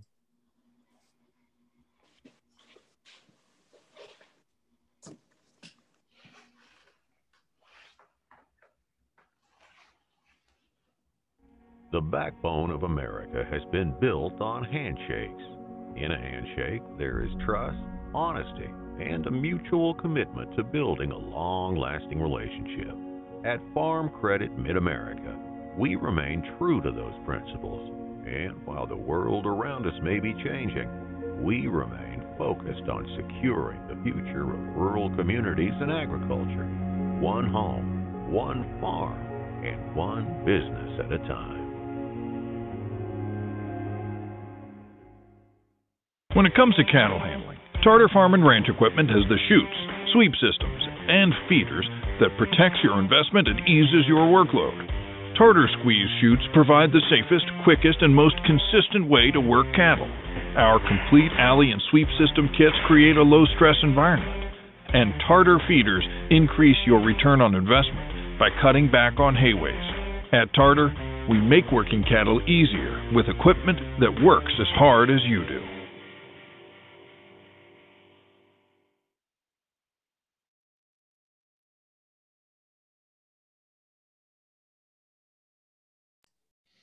All right. Thanks again to all of our sponsors this evening. Uh, Dr. Jones, I'm going to turn the program back over to you.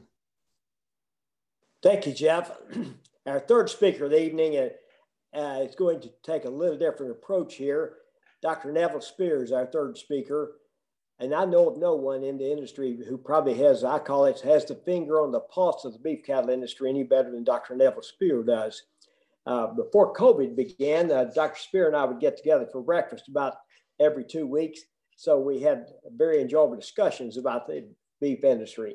And when we started talking about this thing of taking uh, cattle and thinking more about the food we produce and that kind of thing, I thought it would be good to ask Nevil to be involved here to talk to us about the entire industry, where we've been, where we are, and where we might be going.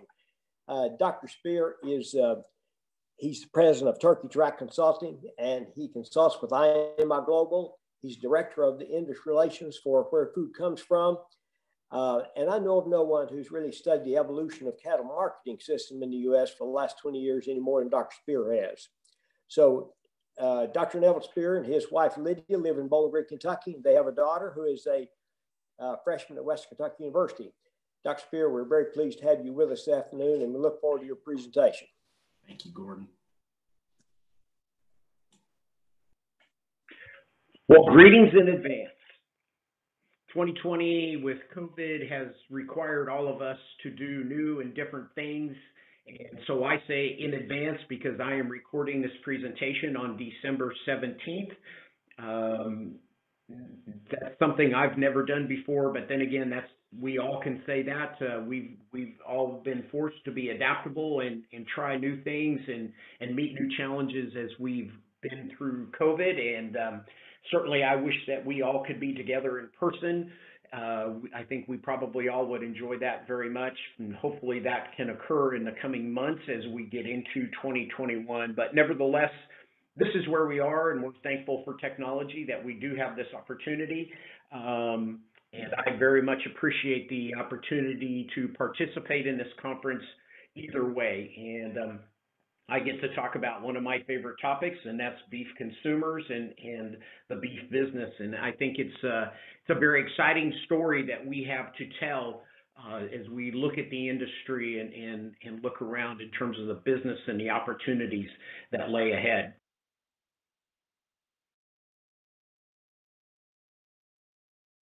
With that, it's very easy to get caught up in in all of the noise of COVID and in some of the volatility that's happened in the markets and some of the uncertainty.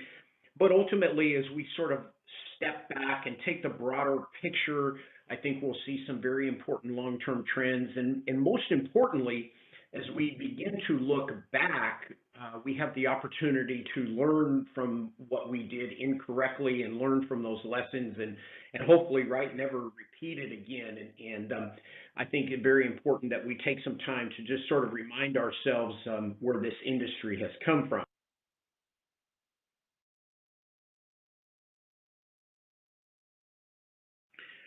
Consumers are, are complicated I think getting more complicated all the time. And we'll we'll talk about that in a little more detail uh, in in just a few minutes. But you know, all of us uh, probably have these general demands, and ultimately, whenever we go to purchase any type of product, whatever it is, you know, we we want uh, our problem solved, and and we don't want to make have to make a lot of complicated decisions. Um, and, and with beef, it, it's a it's a kind of a multi-variable equation in terms of what are we looking for when we make a purchase of a beef product versus a poultry or pork product. And and you know a couple of things are important. And again, we'll talk about these in more detail in just a little bit. But health, convenience, quality, and or taste and consistency. And then ultimately, you know, really our decisions are made upon a, a price value uh, type of comparison. And, and so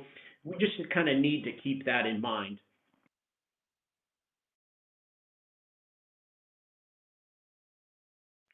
Um, as, as we look back, though, in, in terms of the national beef quality audits, uh, that the first one done in 1991, and, and then we followed up about every five years um, since then, and, and um, we'll look at some of the later ones in just a little bit. But you know, if you look very early, starting in 1990 and, and through that first decade, boy, we had a lot of problems in terms of quality.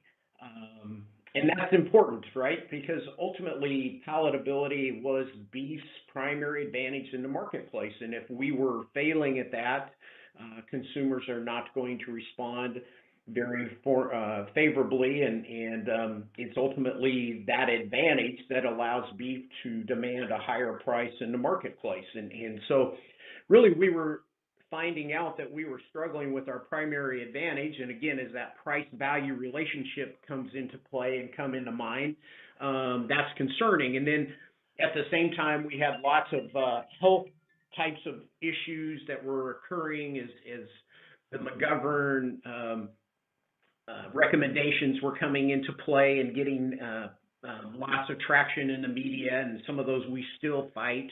Um, and then also in terms of convenience, where we had about half of the women uh, out in the workplace, and and um, so you had a lot of two income homes, and, and time became very very important. And we struggled in in all of those things, and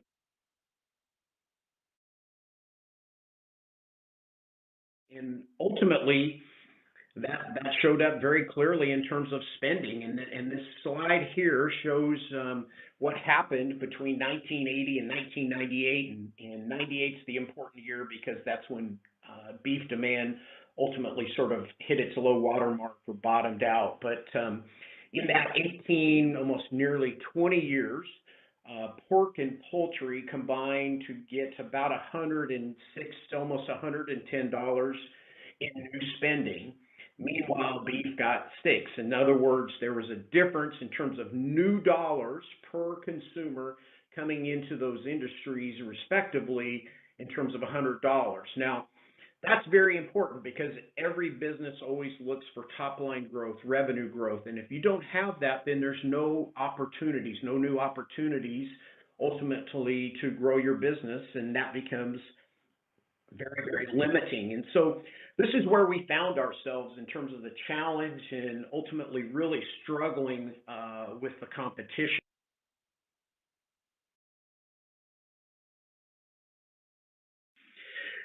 And again, as I mentioned earlier, one of those challenges really revolved around beef quality. But we've we've done a lot of work since and and and um, really improved on that. But why is beef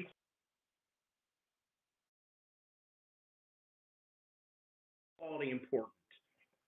Well, one of my major professors at, at Colorado State um, did some very critical work uh, in 2011 and uh, just putting together um, some data in terms of consumer response and, and how was the positive experience and the, and the rate of that. And, and you can see that moderately abundant, slightly abundant, those are um, quality grade or marbling scores for the prime quality grade.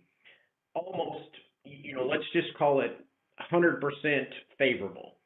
Uh, moderate and modest, that would be top choice. You, you, know, you can see the difference there, 88% and 82% uh, positive sensory experience. And, and then small would be a commodity choice, and then we get down into some lower quality grades. But you can see, obviously, as we increase marbling, it is favorably related to a positive eating experience. And by the way, that also really revolves around consistency too. And so Quality grade is incredibly important.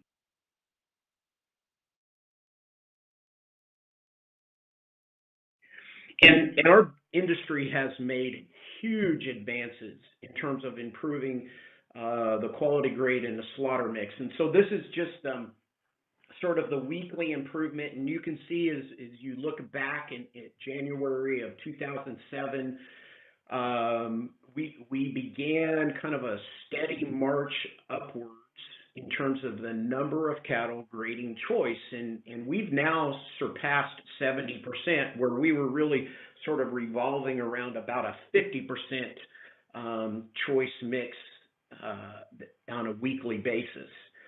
What's really incredible here is what's happened just in the last few years, though, on the prime side.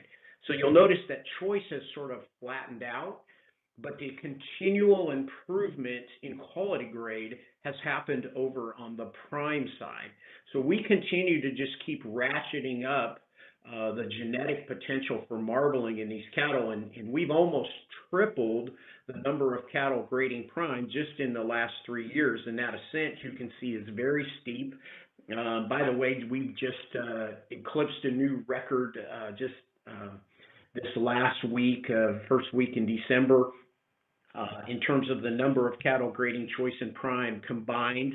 And so this this continues, and and um, this is really a very very important trend and makes a huge difference in our business.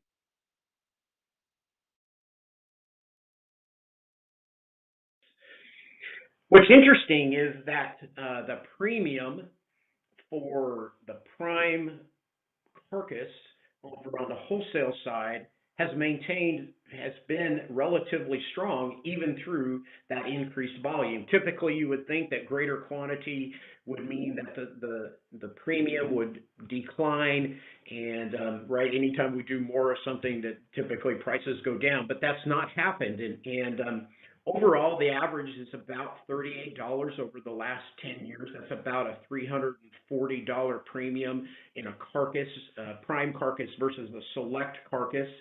Um, and we're about steady with exactly where we were 10 years ago uh, and, and with uh, three times the growth or three times the volume. Um, and so, really, just an amazing story that tells you that the market continues to want higher end product, and um, we can continue to move this product. And, and so, ultimately, that kind of uh, price signal gets passed on, you know, to the live side, and you can see these grids adjusting and continually ratcheting up, and, the quality grade minimum uh, becomes uh, even more important as, as we move forward.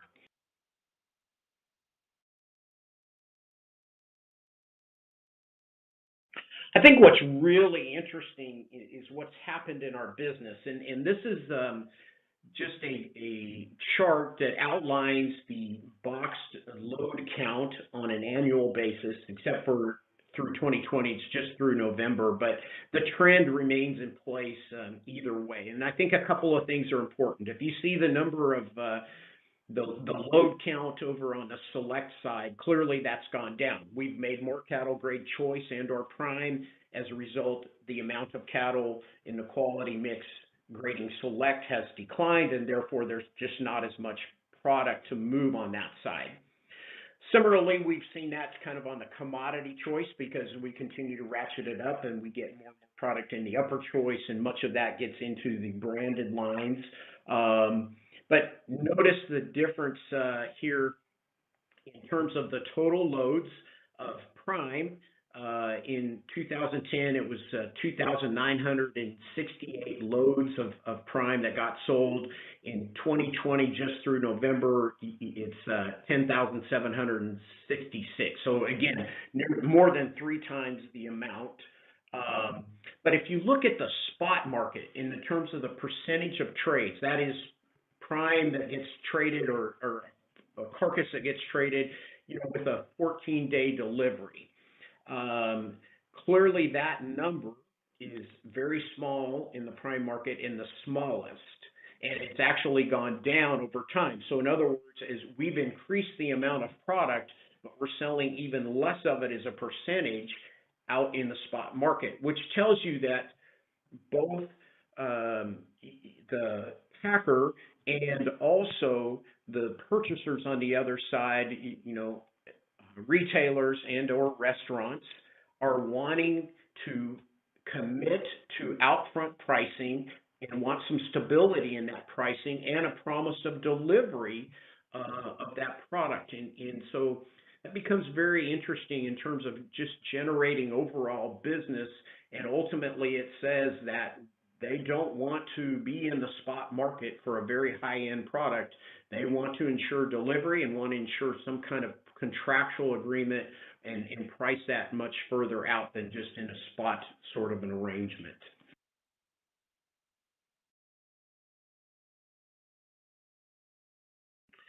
And so this this whole discussion around uh, uh, quality grade really has paid off. So as we talked about the difference between 1980 and 1998, now look at the difference as we talk about those trends between 1999 and most recently uh, 2019, you can see that beef has begun to close the gap in terms of new spending with pork and poultry, where the difference was 100, it's now 75. And so we've gained ground um, and and are you know chasing at the heels of our competitors, um, and you know not only keeping even but closing the gap. And and ultimately, the what what's the primary difference?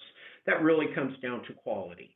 And, and so we've we've made beef uh, standalone in the marketplace. We've decommoditized it um, and really made a huge difference for our industry. And, and I think tells a very important message about where we need to go going forward. Also.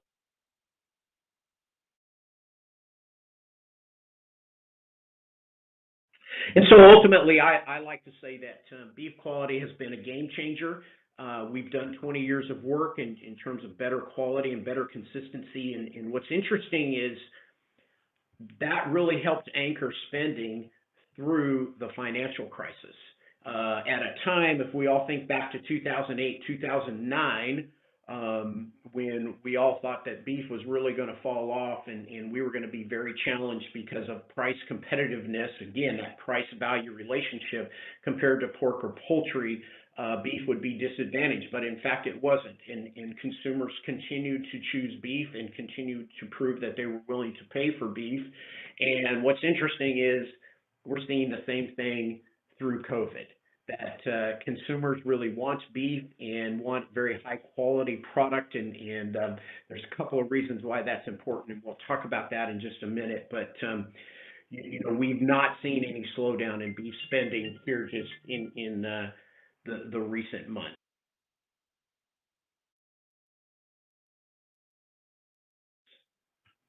I think the other side of all of this is um, the story so we always talk about quality and then story and what's going on in terms of the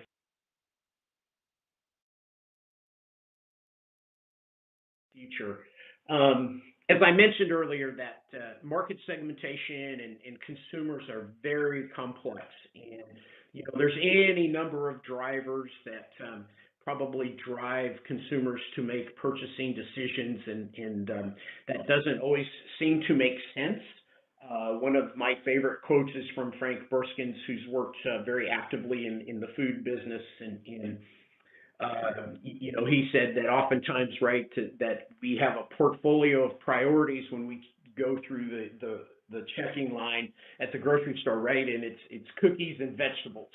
Uh, so again, it, it, doesn't always make sense, and that gets even further complicated as we talk about restaurant versus retail. But you know, consumers have lots of needs and lots of desires, but one of the things that we see as you look down towards the bottom of that list that becomes more and more important is is the animal welfare and social aspects and and or uh, the the product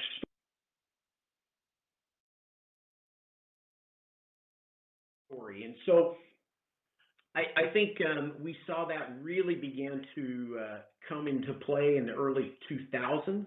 Um, and then as we came out of the um, recession and the financial crisis, that became even more important. And, um, you know, we, we saw that ultimately the, the quote that really resonates here in, in the power of the post-recession consumer is that they are increasingly taking care to purchase goods and services from sellers that meet their standards and reflect their values, whatever that means. Uh, that can mean a lot of different things, but ultimately it's that product story that becomes more and more important uh, as we talk about beef consumers.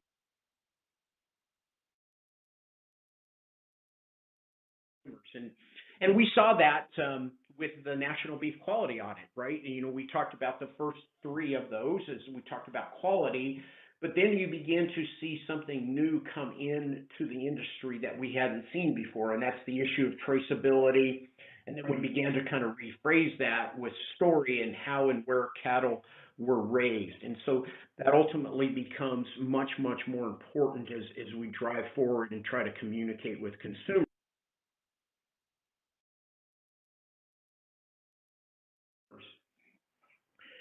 And, probably the, best data that I've seen of, late comes from the Power of Meat study um, that this is done uh, regularly. And um, but the 2020 results really were very striking to me. And so top uh, topics that shoppers want to hear about from meat and poultry brands and grocery stores. Um, clearly, nutrition, food safety practices are at the top of the list, but then begin to notice, look at what comes next almost half interested in animal care practices, 40% interested in the environmental impact. Then it becomes um, concern about worker welfare and safety, and my guess is that number will even change as we come through COVID and um, we, we look at these in a year from now. And then initiatives to give back to community. I don't think those sorts of concerns were very prevalent uh, 20 years ago, and so we need to be very aware of that.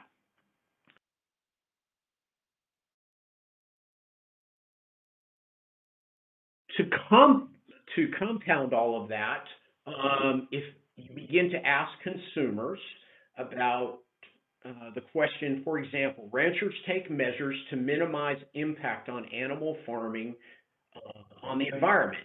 And the percentage that say yes or no, and all shoppers, 40% say yes, 22% say no. What's most important, I think, in this particular survey and the results that happen, um, if you look at uh, the boomers or the Gen X's, um, I'm a Gen X person, right? Uh, um, you, you, know, nearly 40% that matches up with overall shoppers. Uh, 40% say yes, and, and then, you know, 18% say, nah, probably not. They need to do more. But then fast forward uh, over to the Gen Z, 18 to 23 year olds. The negative response is nearly double that of the boomers. And those are the ultimately the consumers that we have to meet their demand going forward. And so the point being is we get into younger consumers and as they get more purchasing power and we look out into the future, it tells us that we have to do more to communicate our story and what we're doing correctly to them to kind of win them over.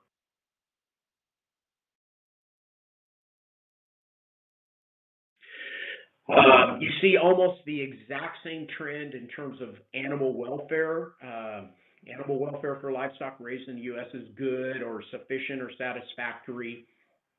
Again, favorable out rates or is, is higher than unfavorable, but it's the age trend that uh, comes into play. And by the way, I think it's also important to note that the overall agreement, you know, those consumers saying yes was 43% in 2020. That's down from 51% in 2019.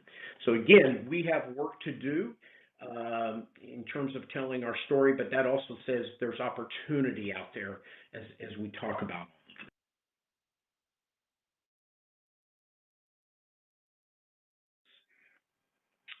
So with all of that in mind in terms of beef quality and, and the importance that, that it makes in terms of the business and, and those issues that we talk about in terms of spot versus outfront pricing, and also maintaining traceability and or the, the, the importance of story, uh, really emphasizes the importance of the value chain uh, as, as we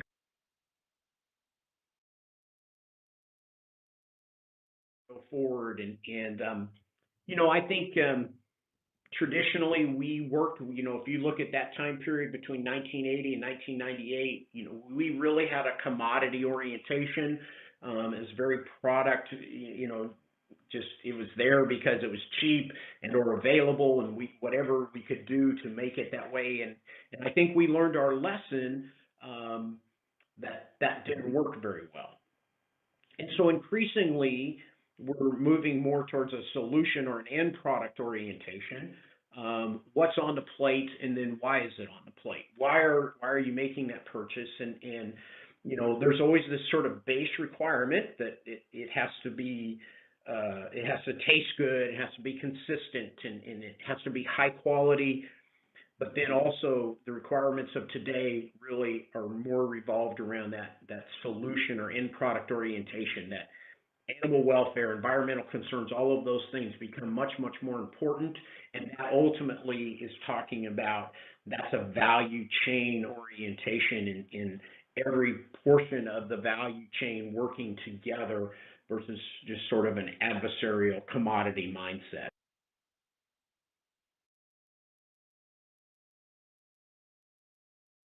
And, and, and ultimately that really requires sort of customer-centric thinking, and, and you have to reverse the traditional chain um, instead of kind of you know just jamming it down the line and not being responsive to consumers. We have to kind of work bottom up, start with the consumer, and then adapt the value chain around quality, consistency, efficiency, volume, and then I would add story to that also. Very important as we go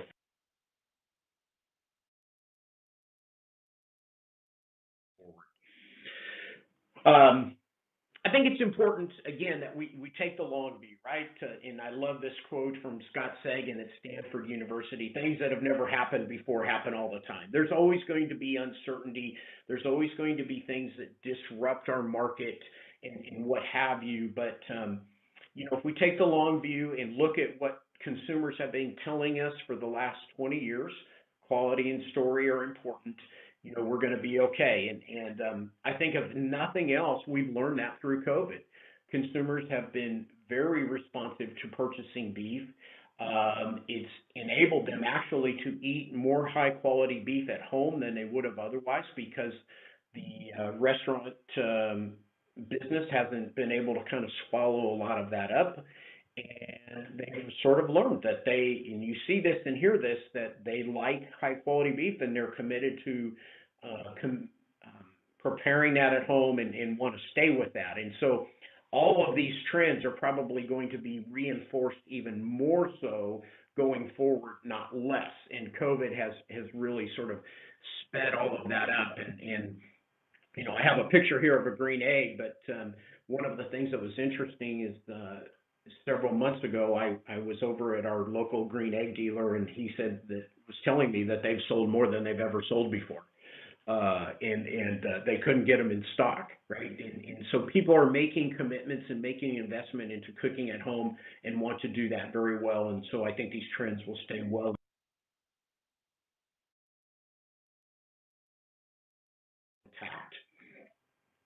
So ultimately, one of my favorite quotes and, and I think basic principles of success uh, comes from one of my favorite business books of all time, and it's called Built to Last by Jim Collins. Uh, many of you might know him uh, from as the author of Good to Great, but um, you know he talks a lot about preserving the core and stimulating progress. And so, if a company or an industry is to meet the challenge of a changing world, and the world is always changing, it must be prepared to change everything about itself except its basic beliefs. Uh, and so the only sacred cow in an organization should be its basic philosophy of doing business. And I would say that ultimately is honesty and trust and what have you. Um, but whatever it is that we want to do to maintain our consumers and be successful, we have to be willing to change. And, um, I think you know keeping that consumer focus is is very important. And as we've seen some discussion here in recent months about um, sort of how the market operates and how our business operates, well, it's important to remember that we were not very successful when we didn't focus on the consumer. And so uh, we, we really need to keep that uh, going forward. And that may mean that business looks differently than it did 20 years ago or 30 years ago or even 10 years ago. But that's how we ultimately create an industry that's built to last.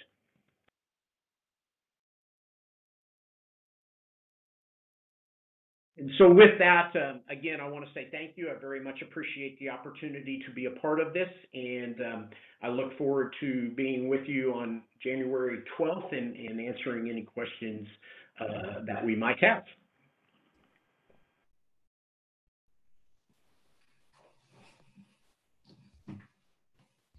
Well, uh, Dr. Speer, thank you very much for that. And um, this this question came in, and and um, again, it may be uh, answered by you as well as some of our other uh, uh, presenters, but the, the statement was made that the chicken and poultry, uh, sorry, the chicken and the pork industry have really done an excellent job of developing consumer friendly products, even though they're harvesting larger animals that makes it more of a challenge.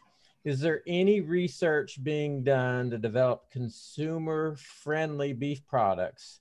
Some of the issue is how do you make a steak that can be prepared in a four to eight ounce serving size without making it very thin and hard to cook medium to, to rare? Um, we're, we're seeing larger animals at harvest and, and often with larger animals that makes uh, the the longissimus muscle larger, which means our ribeyes and, and steak sizes become larger. Uh, any research that you know of ongoing and um, uh, Shawn, if you want to chime in on this too after Dr. Speer with regards to NCBA work. I actually was going to say that question probably is best suited for Shawn and given all the, the research that's going on that's supported by the beef board. Yeah, yeah, happy to answer that. So, you know, from our perspective, I think we have programs that focus on that. So we have a supply chain team that uh, Steve Wald, many of you may have seen him over the years. He's been here a while, kind of lead up. And a lot of our relationships for what we're doing with our beef promotional dollars are developing those relationships with people innovating and creating those ideas. So we are not necessarily doing them in house. We are working with people uh, to understand and test some of those ideas. Um, but I know they they are prevalent, and I know you know six to seven years ago, uh, beef as value, you know, getting those cuts was was a big deal and a focus when we were going back, you know, so back, even going back to 2008, really when we had some of those pricing concerns. Uh, so definitely a focus of some of our programming here and our relationship building with our supply chain audiences. Uh, Dr. Speer, there's a question that came in that uh, um, talks a little bit about uh, some of the data that you mentioned and um, the the home consumers. Are are they purchasing um, kind of that higher end uh, kind of a product, or because of restricted maybe financial means due to COVID? Are they focusing more on lower quality grades? Um, are they being careful with their food dollars, and are they maybe willing to spend money on higher quality beef or higher luxury type, shifting away from poultry to buying steaks now and then? Yeah, and I, I think uh, it's a great question. Shawn sort of addressed that earlier. We've seen um, pretty active spending on the beef side and, and consumers willing to spend up into those higher quality grades. And, and again, as I mentioned in the presentation, it's really the first time they've had access to high quality grade beef that maybe would have gone into restaurant or food service business. Um, and yeah, they've been they've been willing to kind of spend up and do it. And and um, I think that's probably a pretty important trend um, where you might see retail business kind of fighting for that type of product versus uh, the restaurant business or food service going forward. And certainly some of the work that I do with where food comes from, we're hearing that from retailers all the time. Um, they've recognized this trend and, and they want to get uh, access to that product in the future. Another question that came in from uh, our good friend uh, Warren Beeler. Does having more USDA choice and prime product make our beef more attractive to export? Does uh, higher quality meat uh, provide us more opportunities for export markets. No question. I think that's one of those things that's really helped underpin growing export markets over time. That you know, that's that's just something we've consistently grown, um, and you know, it, it really is the area that no one else can compete with us globally. We produce a high quality product, and and it's why people come to the United States uh, to buy beef. And, and this is a question again on consumers and um, uh, Shawn, you can be ready to, to chime in here too. Is there data relative to consumers' increased desire to, to purchase local processed beef as opposed to remotely processed beef? And by that, I think they mean more of the uh, commodity beef. And, and do you anticipate this to change with time? Yes, Shawn, I'll turn that over to you. I don't have a good feel for that specifically. Yeah, you know, and I think you know I mentioned it a little bit, but I think this is something we want to investigate more. It's we've heard again a lot of rumblings around this, especially with COVID, um, the interest in people doing it. Um, so I don't have that data. We know most of the data, you know, if even previously when you look at things like grass-fed and organic and antibiotic, and you throw everything in there, it's less than 4% of the market share that we have. So I'm thinking it's a small portion of what we're seeing coming through. Now, does that have a growing impact? You know, from focus groups and work that we do, we hear it. I think local adds some of that credibility for consumers. Now, whether they do or they don't, they feel like they can just pick up the phone or email the farmer or rancher if they have an issue with what's going on. So it does add a little layer of credibility for consumers. But again, you know, you, you go back to um, what Mr. Spears said, a lot of taste and your value drivers and convenience drivers. Those are the things really driving most people's everyday decisions. So that margin and when those prices get higher, and then that convenience aspect of going to get it, I think that's it's going to hold it back a little bit from your commodity beef.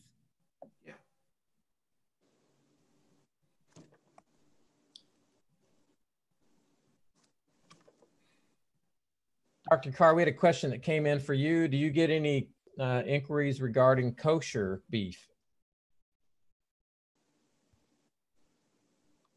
Some, uh, some. The um, we've had, uh, yeah, we we've had uh, we have two facilities here uh, in our state that, that generate some kosher and halal product. Yes, we do. The, and perhaps we should define what kosher is.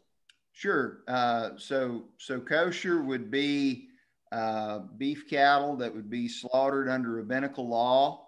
So there's, um, I think sometimes folks think that uh, they are exempt, that they those cattle are exempted from the Humane Slaughter Act, but but that's not right. Uh, or they're they they just don't have to be rendered insensible to pain, and uh, and so the uh, but kosher slaughter can be done and, and it can be done well. Uh, we got to do a good job with head restraint. Um, but um, yeah, so that that's obviously associated with the Jewish faith, and uh, we'd be selling products only out of the four quarter um, for uh, associated with kosher product. Thank but lots of uh, a lot of the product that will uh, go to kosher facility or facility that's kind of specializing in some kosher product, that'll be some really high quality beef a lot of times. Dr. Jones, I think it's time for us to start getting them to think about uh, some questions uh, for each of them to answer. You have some uh, there ready to go? Yep, I'd like to ask Dr. Carr to comment. It relates to a question you just asked a second ago. Dr. Carr, we talked about the local thing, and in your presentation, you talked about losing the value off, all that sort of thing. Talk about pricing of that product. And, you know, sometimes I'm afraid we, some of our producers who are selling locally may be losing money and not realize it. So please, please address the economic issue of selling local and how much we're losing when we custom process and don't get that value. Well, there, um, so, I mean, you, we have to have a, a, base value to think about what this calf is worth today. And then whoever the facility is that's going to process for you, let's say that that's going to be, I don't know, a $75 slaughter charge. And then let's say you're 75 cents a pound or something like that uh, when you talk about your cut and wrap fee. So if we have a, I don't know, 1,400 pound steer that's worth uh, whatever, $1,800 and then he generates a 900 pound carcass and we put the $75 processing fee and then we're at whatever 75 cents a pound. Um, we're we've added additional $800 in right there just to kind of get to our our break even as to we come back to what we have there uh, for the value of that calf. So um, it can be done and I mean, it's i mean it's math. Uh, we can figure out what our break even cost is going to be on that. But we probably need to be at, you know, probably a 25, uh, we need to account for some profit hopefully in there um, to merchandise that product. So that, um, yeah, if we're, if we're selling across the board at, uh, you know, um, $3 a pound at uh, selling it piece by piece out of the freezer on average, we're probably not winning. Um, so yeah, there, but I mean, that calculation, I could have done that as we went through there, but uh, we kind of roughed it out a little bit there. Dr. Speer, you you showed uh, at the end there the, the green eggs, and um, mm-hmm. uh, I happened to, to, to get its competitor as a Christmas gift, mm-hmm. and uh, I'm I've been amazed at the communities that have been developed over social media around this home cooking movement, the food shows that are out there. Watching uh, one of the ball games or, or, in between ball games this weekend, I seen our um, uh, checkoff dollars at work talking about where to go find beef recipes on the website. Um, how do we continue to uh, reach out? Um, and this is something that all of you can address, but how do we continue to reach out to hold on to these uh, consumers and, and new quote unquote foodies that uh, are, are coming in and buying our product? Do you feel like there's a, a general way that we can improve to keep that market share? Well, I, I think it, first of all, I think it's a really exciting trend because you, you know, you hear people just like you, you, you're, you've been out there, you've done the research, you're finding people, you're starting to talk to your neighbors, what have you about this. And, and uh, there really is sort of a renewed energy for, for home cooking, if you will. And, you know, when you do it at home, you want to do it well, right? It, it, there's, there's a great sense of pride that we all take um, to me, it's really a, an incredible avenue because we now have a captive audience. And for example, that this is precisely why we've created the beef checkoff, right? I mean, it, it's a it's a classic way to get in, and, and social media is one of the, the the prime avenues to be able to advertise or promote to them. And so, I, I think that's really exciting. Shawn, do you have yeah. any other? I would just build on that. I, I, mean, I think it's an exciting time. And, and the other thing you have is these long, you know, a lot of people can't go out right now or still are not comfortable going out right now. So it's a prime opportunity to take advantage um, and educate because consumers are looking for meal ideas to keep. Yeah. Uh, you know, they have ground beef in the freezer, they have steaks in their freezer. So, how can we continue to remind them and keep beef top of mind? And it's things that we're constantly looking to do. You know, we saw a lot of things on comfort meals increasing on the Beef It's What's for Dinner website. We saw things, uh, you know, on just at, at, first it was chef inspired meals. And then I think people were like, well, you know, that was fun for a month and a half, but now I need quick and easy meals. And then I think now you're seeing they kind of want that mixed up. Uh, you know, one of the other things we're doing is with the, the boom in e- commerce uh, we are running and having partners with, you know, people while they're shopping and it serves them up a recipe and all they have to do is click on the recipe and it puts all the ingredients in their cart for them uh, so they have that readily available. So with the technology it just makes it a really easy match.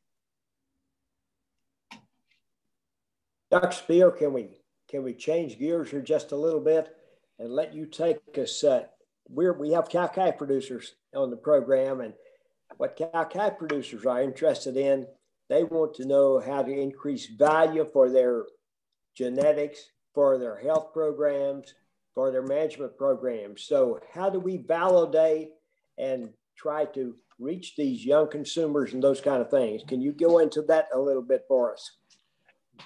Well, I, I you know, more and more we're seeing, we're hearing, we're watching, we're participating in what I would talk about is, is value chain alignment. Um, some people sort of want to confuse that with vertical integration. It's not integration because it's not a packer owning all the cattle all the way through and what have you. I just don't see that happening in our business. But increasingly, you're seeing systems sort of line up and, and where feeder cattle are going to be pooled and sold and managed and, and then sold to specific kinds of specifications that are probably going to go to you know a purchaser and there's going to be some sort of contract um, along the way. And and um, i think that involves both genetics. It certainly involves uh, some health protocols along the way. And then um, working with some systems that actually are talking about providing a, an incentive or a dividend check back on the other side of it you know in, in um, so, uh, you, and a lot of that, again, let's let's just go back to this conversation and the, the question that Jeff you had just a minute ago. I think part of what's really exciting is is we talk about people shopping at home. You now all of a sudden have these retailers saying we want to participate with these customers and we want them to be captive to us, right? The, the, the biggest challenge to a retail chain is, is they want repeat shoppers. They want you to be very loyal. And how, how do you create loyalty? It's generally around the fresh side and it's, you know, it's produce and it's meat. And then how do we differentiate? And so the product's got to be really good and it's got to have the right story. And all of that takes to your question, Dr. Jones, that takes some coordination and, and um, but there's real opportunity there if you're willing to give up I think some independence and willing to work with other people. Um, really, that's that's how you create longevity. There was a question that came in, and um, it, it kind of follows up on that. And it says, I follow several foodie groups and see many conversations mm. around pasture raised and finished beef. Most of these think pasture is healthier. And I've had conversations with people who think that farmers who grain finish feed their cattle stuff, which they don't understand what they're actually feeding and what that stuff is. Um, is NCBA or other groups helping to try and educate consumers and understand the differences between uh, grain finished and grass fed beef. And so uh, I think that can be addressed by um, all three of you, really. It's just not NCBA. Um, but um, what, what efforts are being made to educate consumers about our beef products that are out there that are differentiated from one another? Yeah, I mean, I can start. There's a lot uh, going on, and I think you know, going back into the presentation, I think one of our biggest hurdles is consumers do not know how food is raised, so they're further removed from their food than they've ever been, and they're influencing influenced by marketing. So when they see products side by side, whether it's grass-fed versus grain-fed versus no antibiotics, organic, whatever that might be, they're going to assume uh, you know, again, I heard it earlier, the word story is great. They want a story behind their product. So they're going to assume that there's something more in line because they have these adjectives and these quality indicators. And sometimes that could be grade and ch- choice and those type of things as well. Uh, but that's a lot of what is going into it. But yes, the, so from that standpoint, we've had several programs. Uh, about once a year, we're launching new programs to help educate consumers. Last year, and what the focus of this presentation was on the beef quality assurance. Uh, we have created a lot of infographic material to help understand what the actual differences are and have promoted that as well, whether it's grass fed, grain fed, organic. Um, this year, you know, there will be, will be some sustainability uh, factors coming out from the beef checkoff as well in terms of the consumer promotion. So it's definitely something that's top of mind. We have resources available as the conversation comes up for sure. I, think too, uh, there, there's opportunity and, and we're starting to see some of this happen, you know, largely again, because of COVID, customers are coming into the retail store asking more questions. Retail chains are starting to realize we really need to train our people that are in the stores better. And there is some real efforts in these larger retail chains to get people trained. And, and you, you know, by the way, probably the company that's best at that is Whole Foods. I mean, they're each department manager knows a lot about the product, but we're going to see that probably replicated in other kind of more traditional retail chains in, in um, where those people are being going to be able to answer questions and create the answers, uh, you know, in terms of differentiation.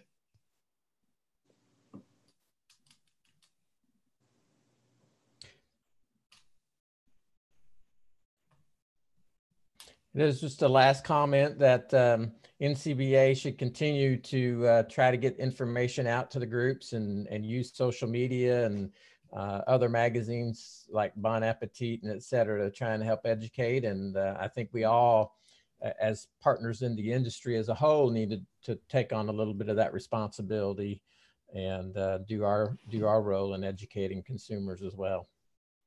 John, I, I have a question with uh, uh, beef board dollars. How what percentage of uh, of the budget is headed toward social media influencers, mommy bloggers, that kind of group. I know our uh, beef council here in our state, they've, it's been a few years ago, but Ashley Hughes, she really did some good stuff in my estimation with bringing uh, social media influencers. We put on programs for about 35 folks Meat Lab. And uh, we took them to the beef teaching unit. We took them to Quincy's and showed them a feed yard, and we showed them a beef carcass. And and uh, here's a you know here's a top butt and here's a chuck roll and here's ground beef and you know they didn't know it, but it was it, they were like man this is great. And uh, then they take and they blog about it and and it got legs.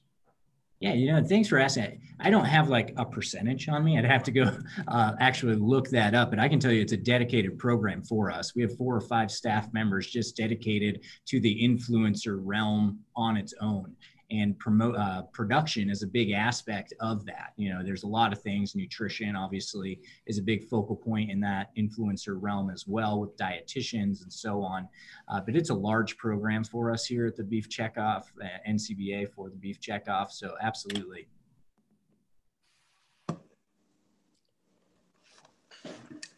Well, tonight we uh, we appreciate the questions. We really appreciate our three panelists tonight, our three three presenters. You've done a very excellent job and addressed a lot of issues I know our producers are very interested in.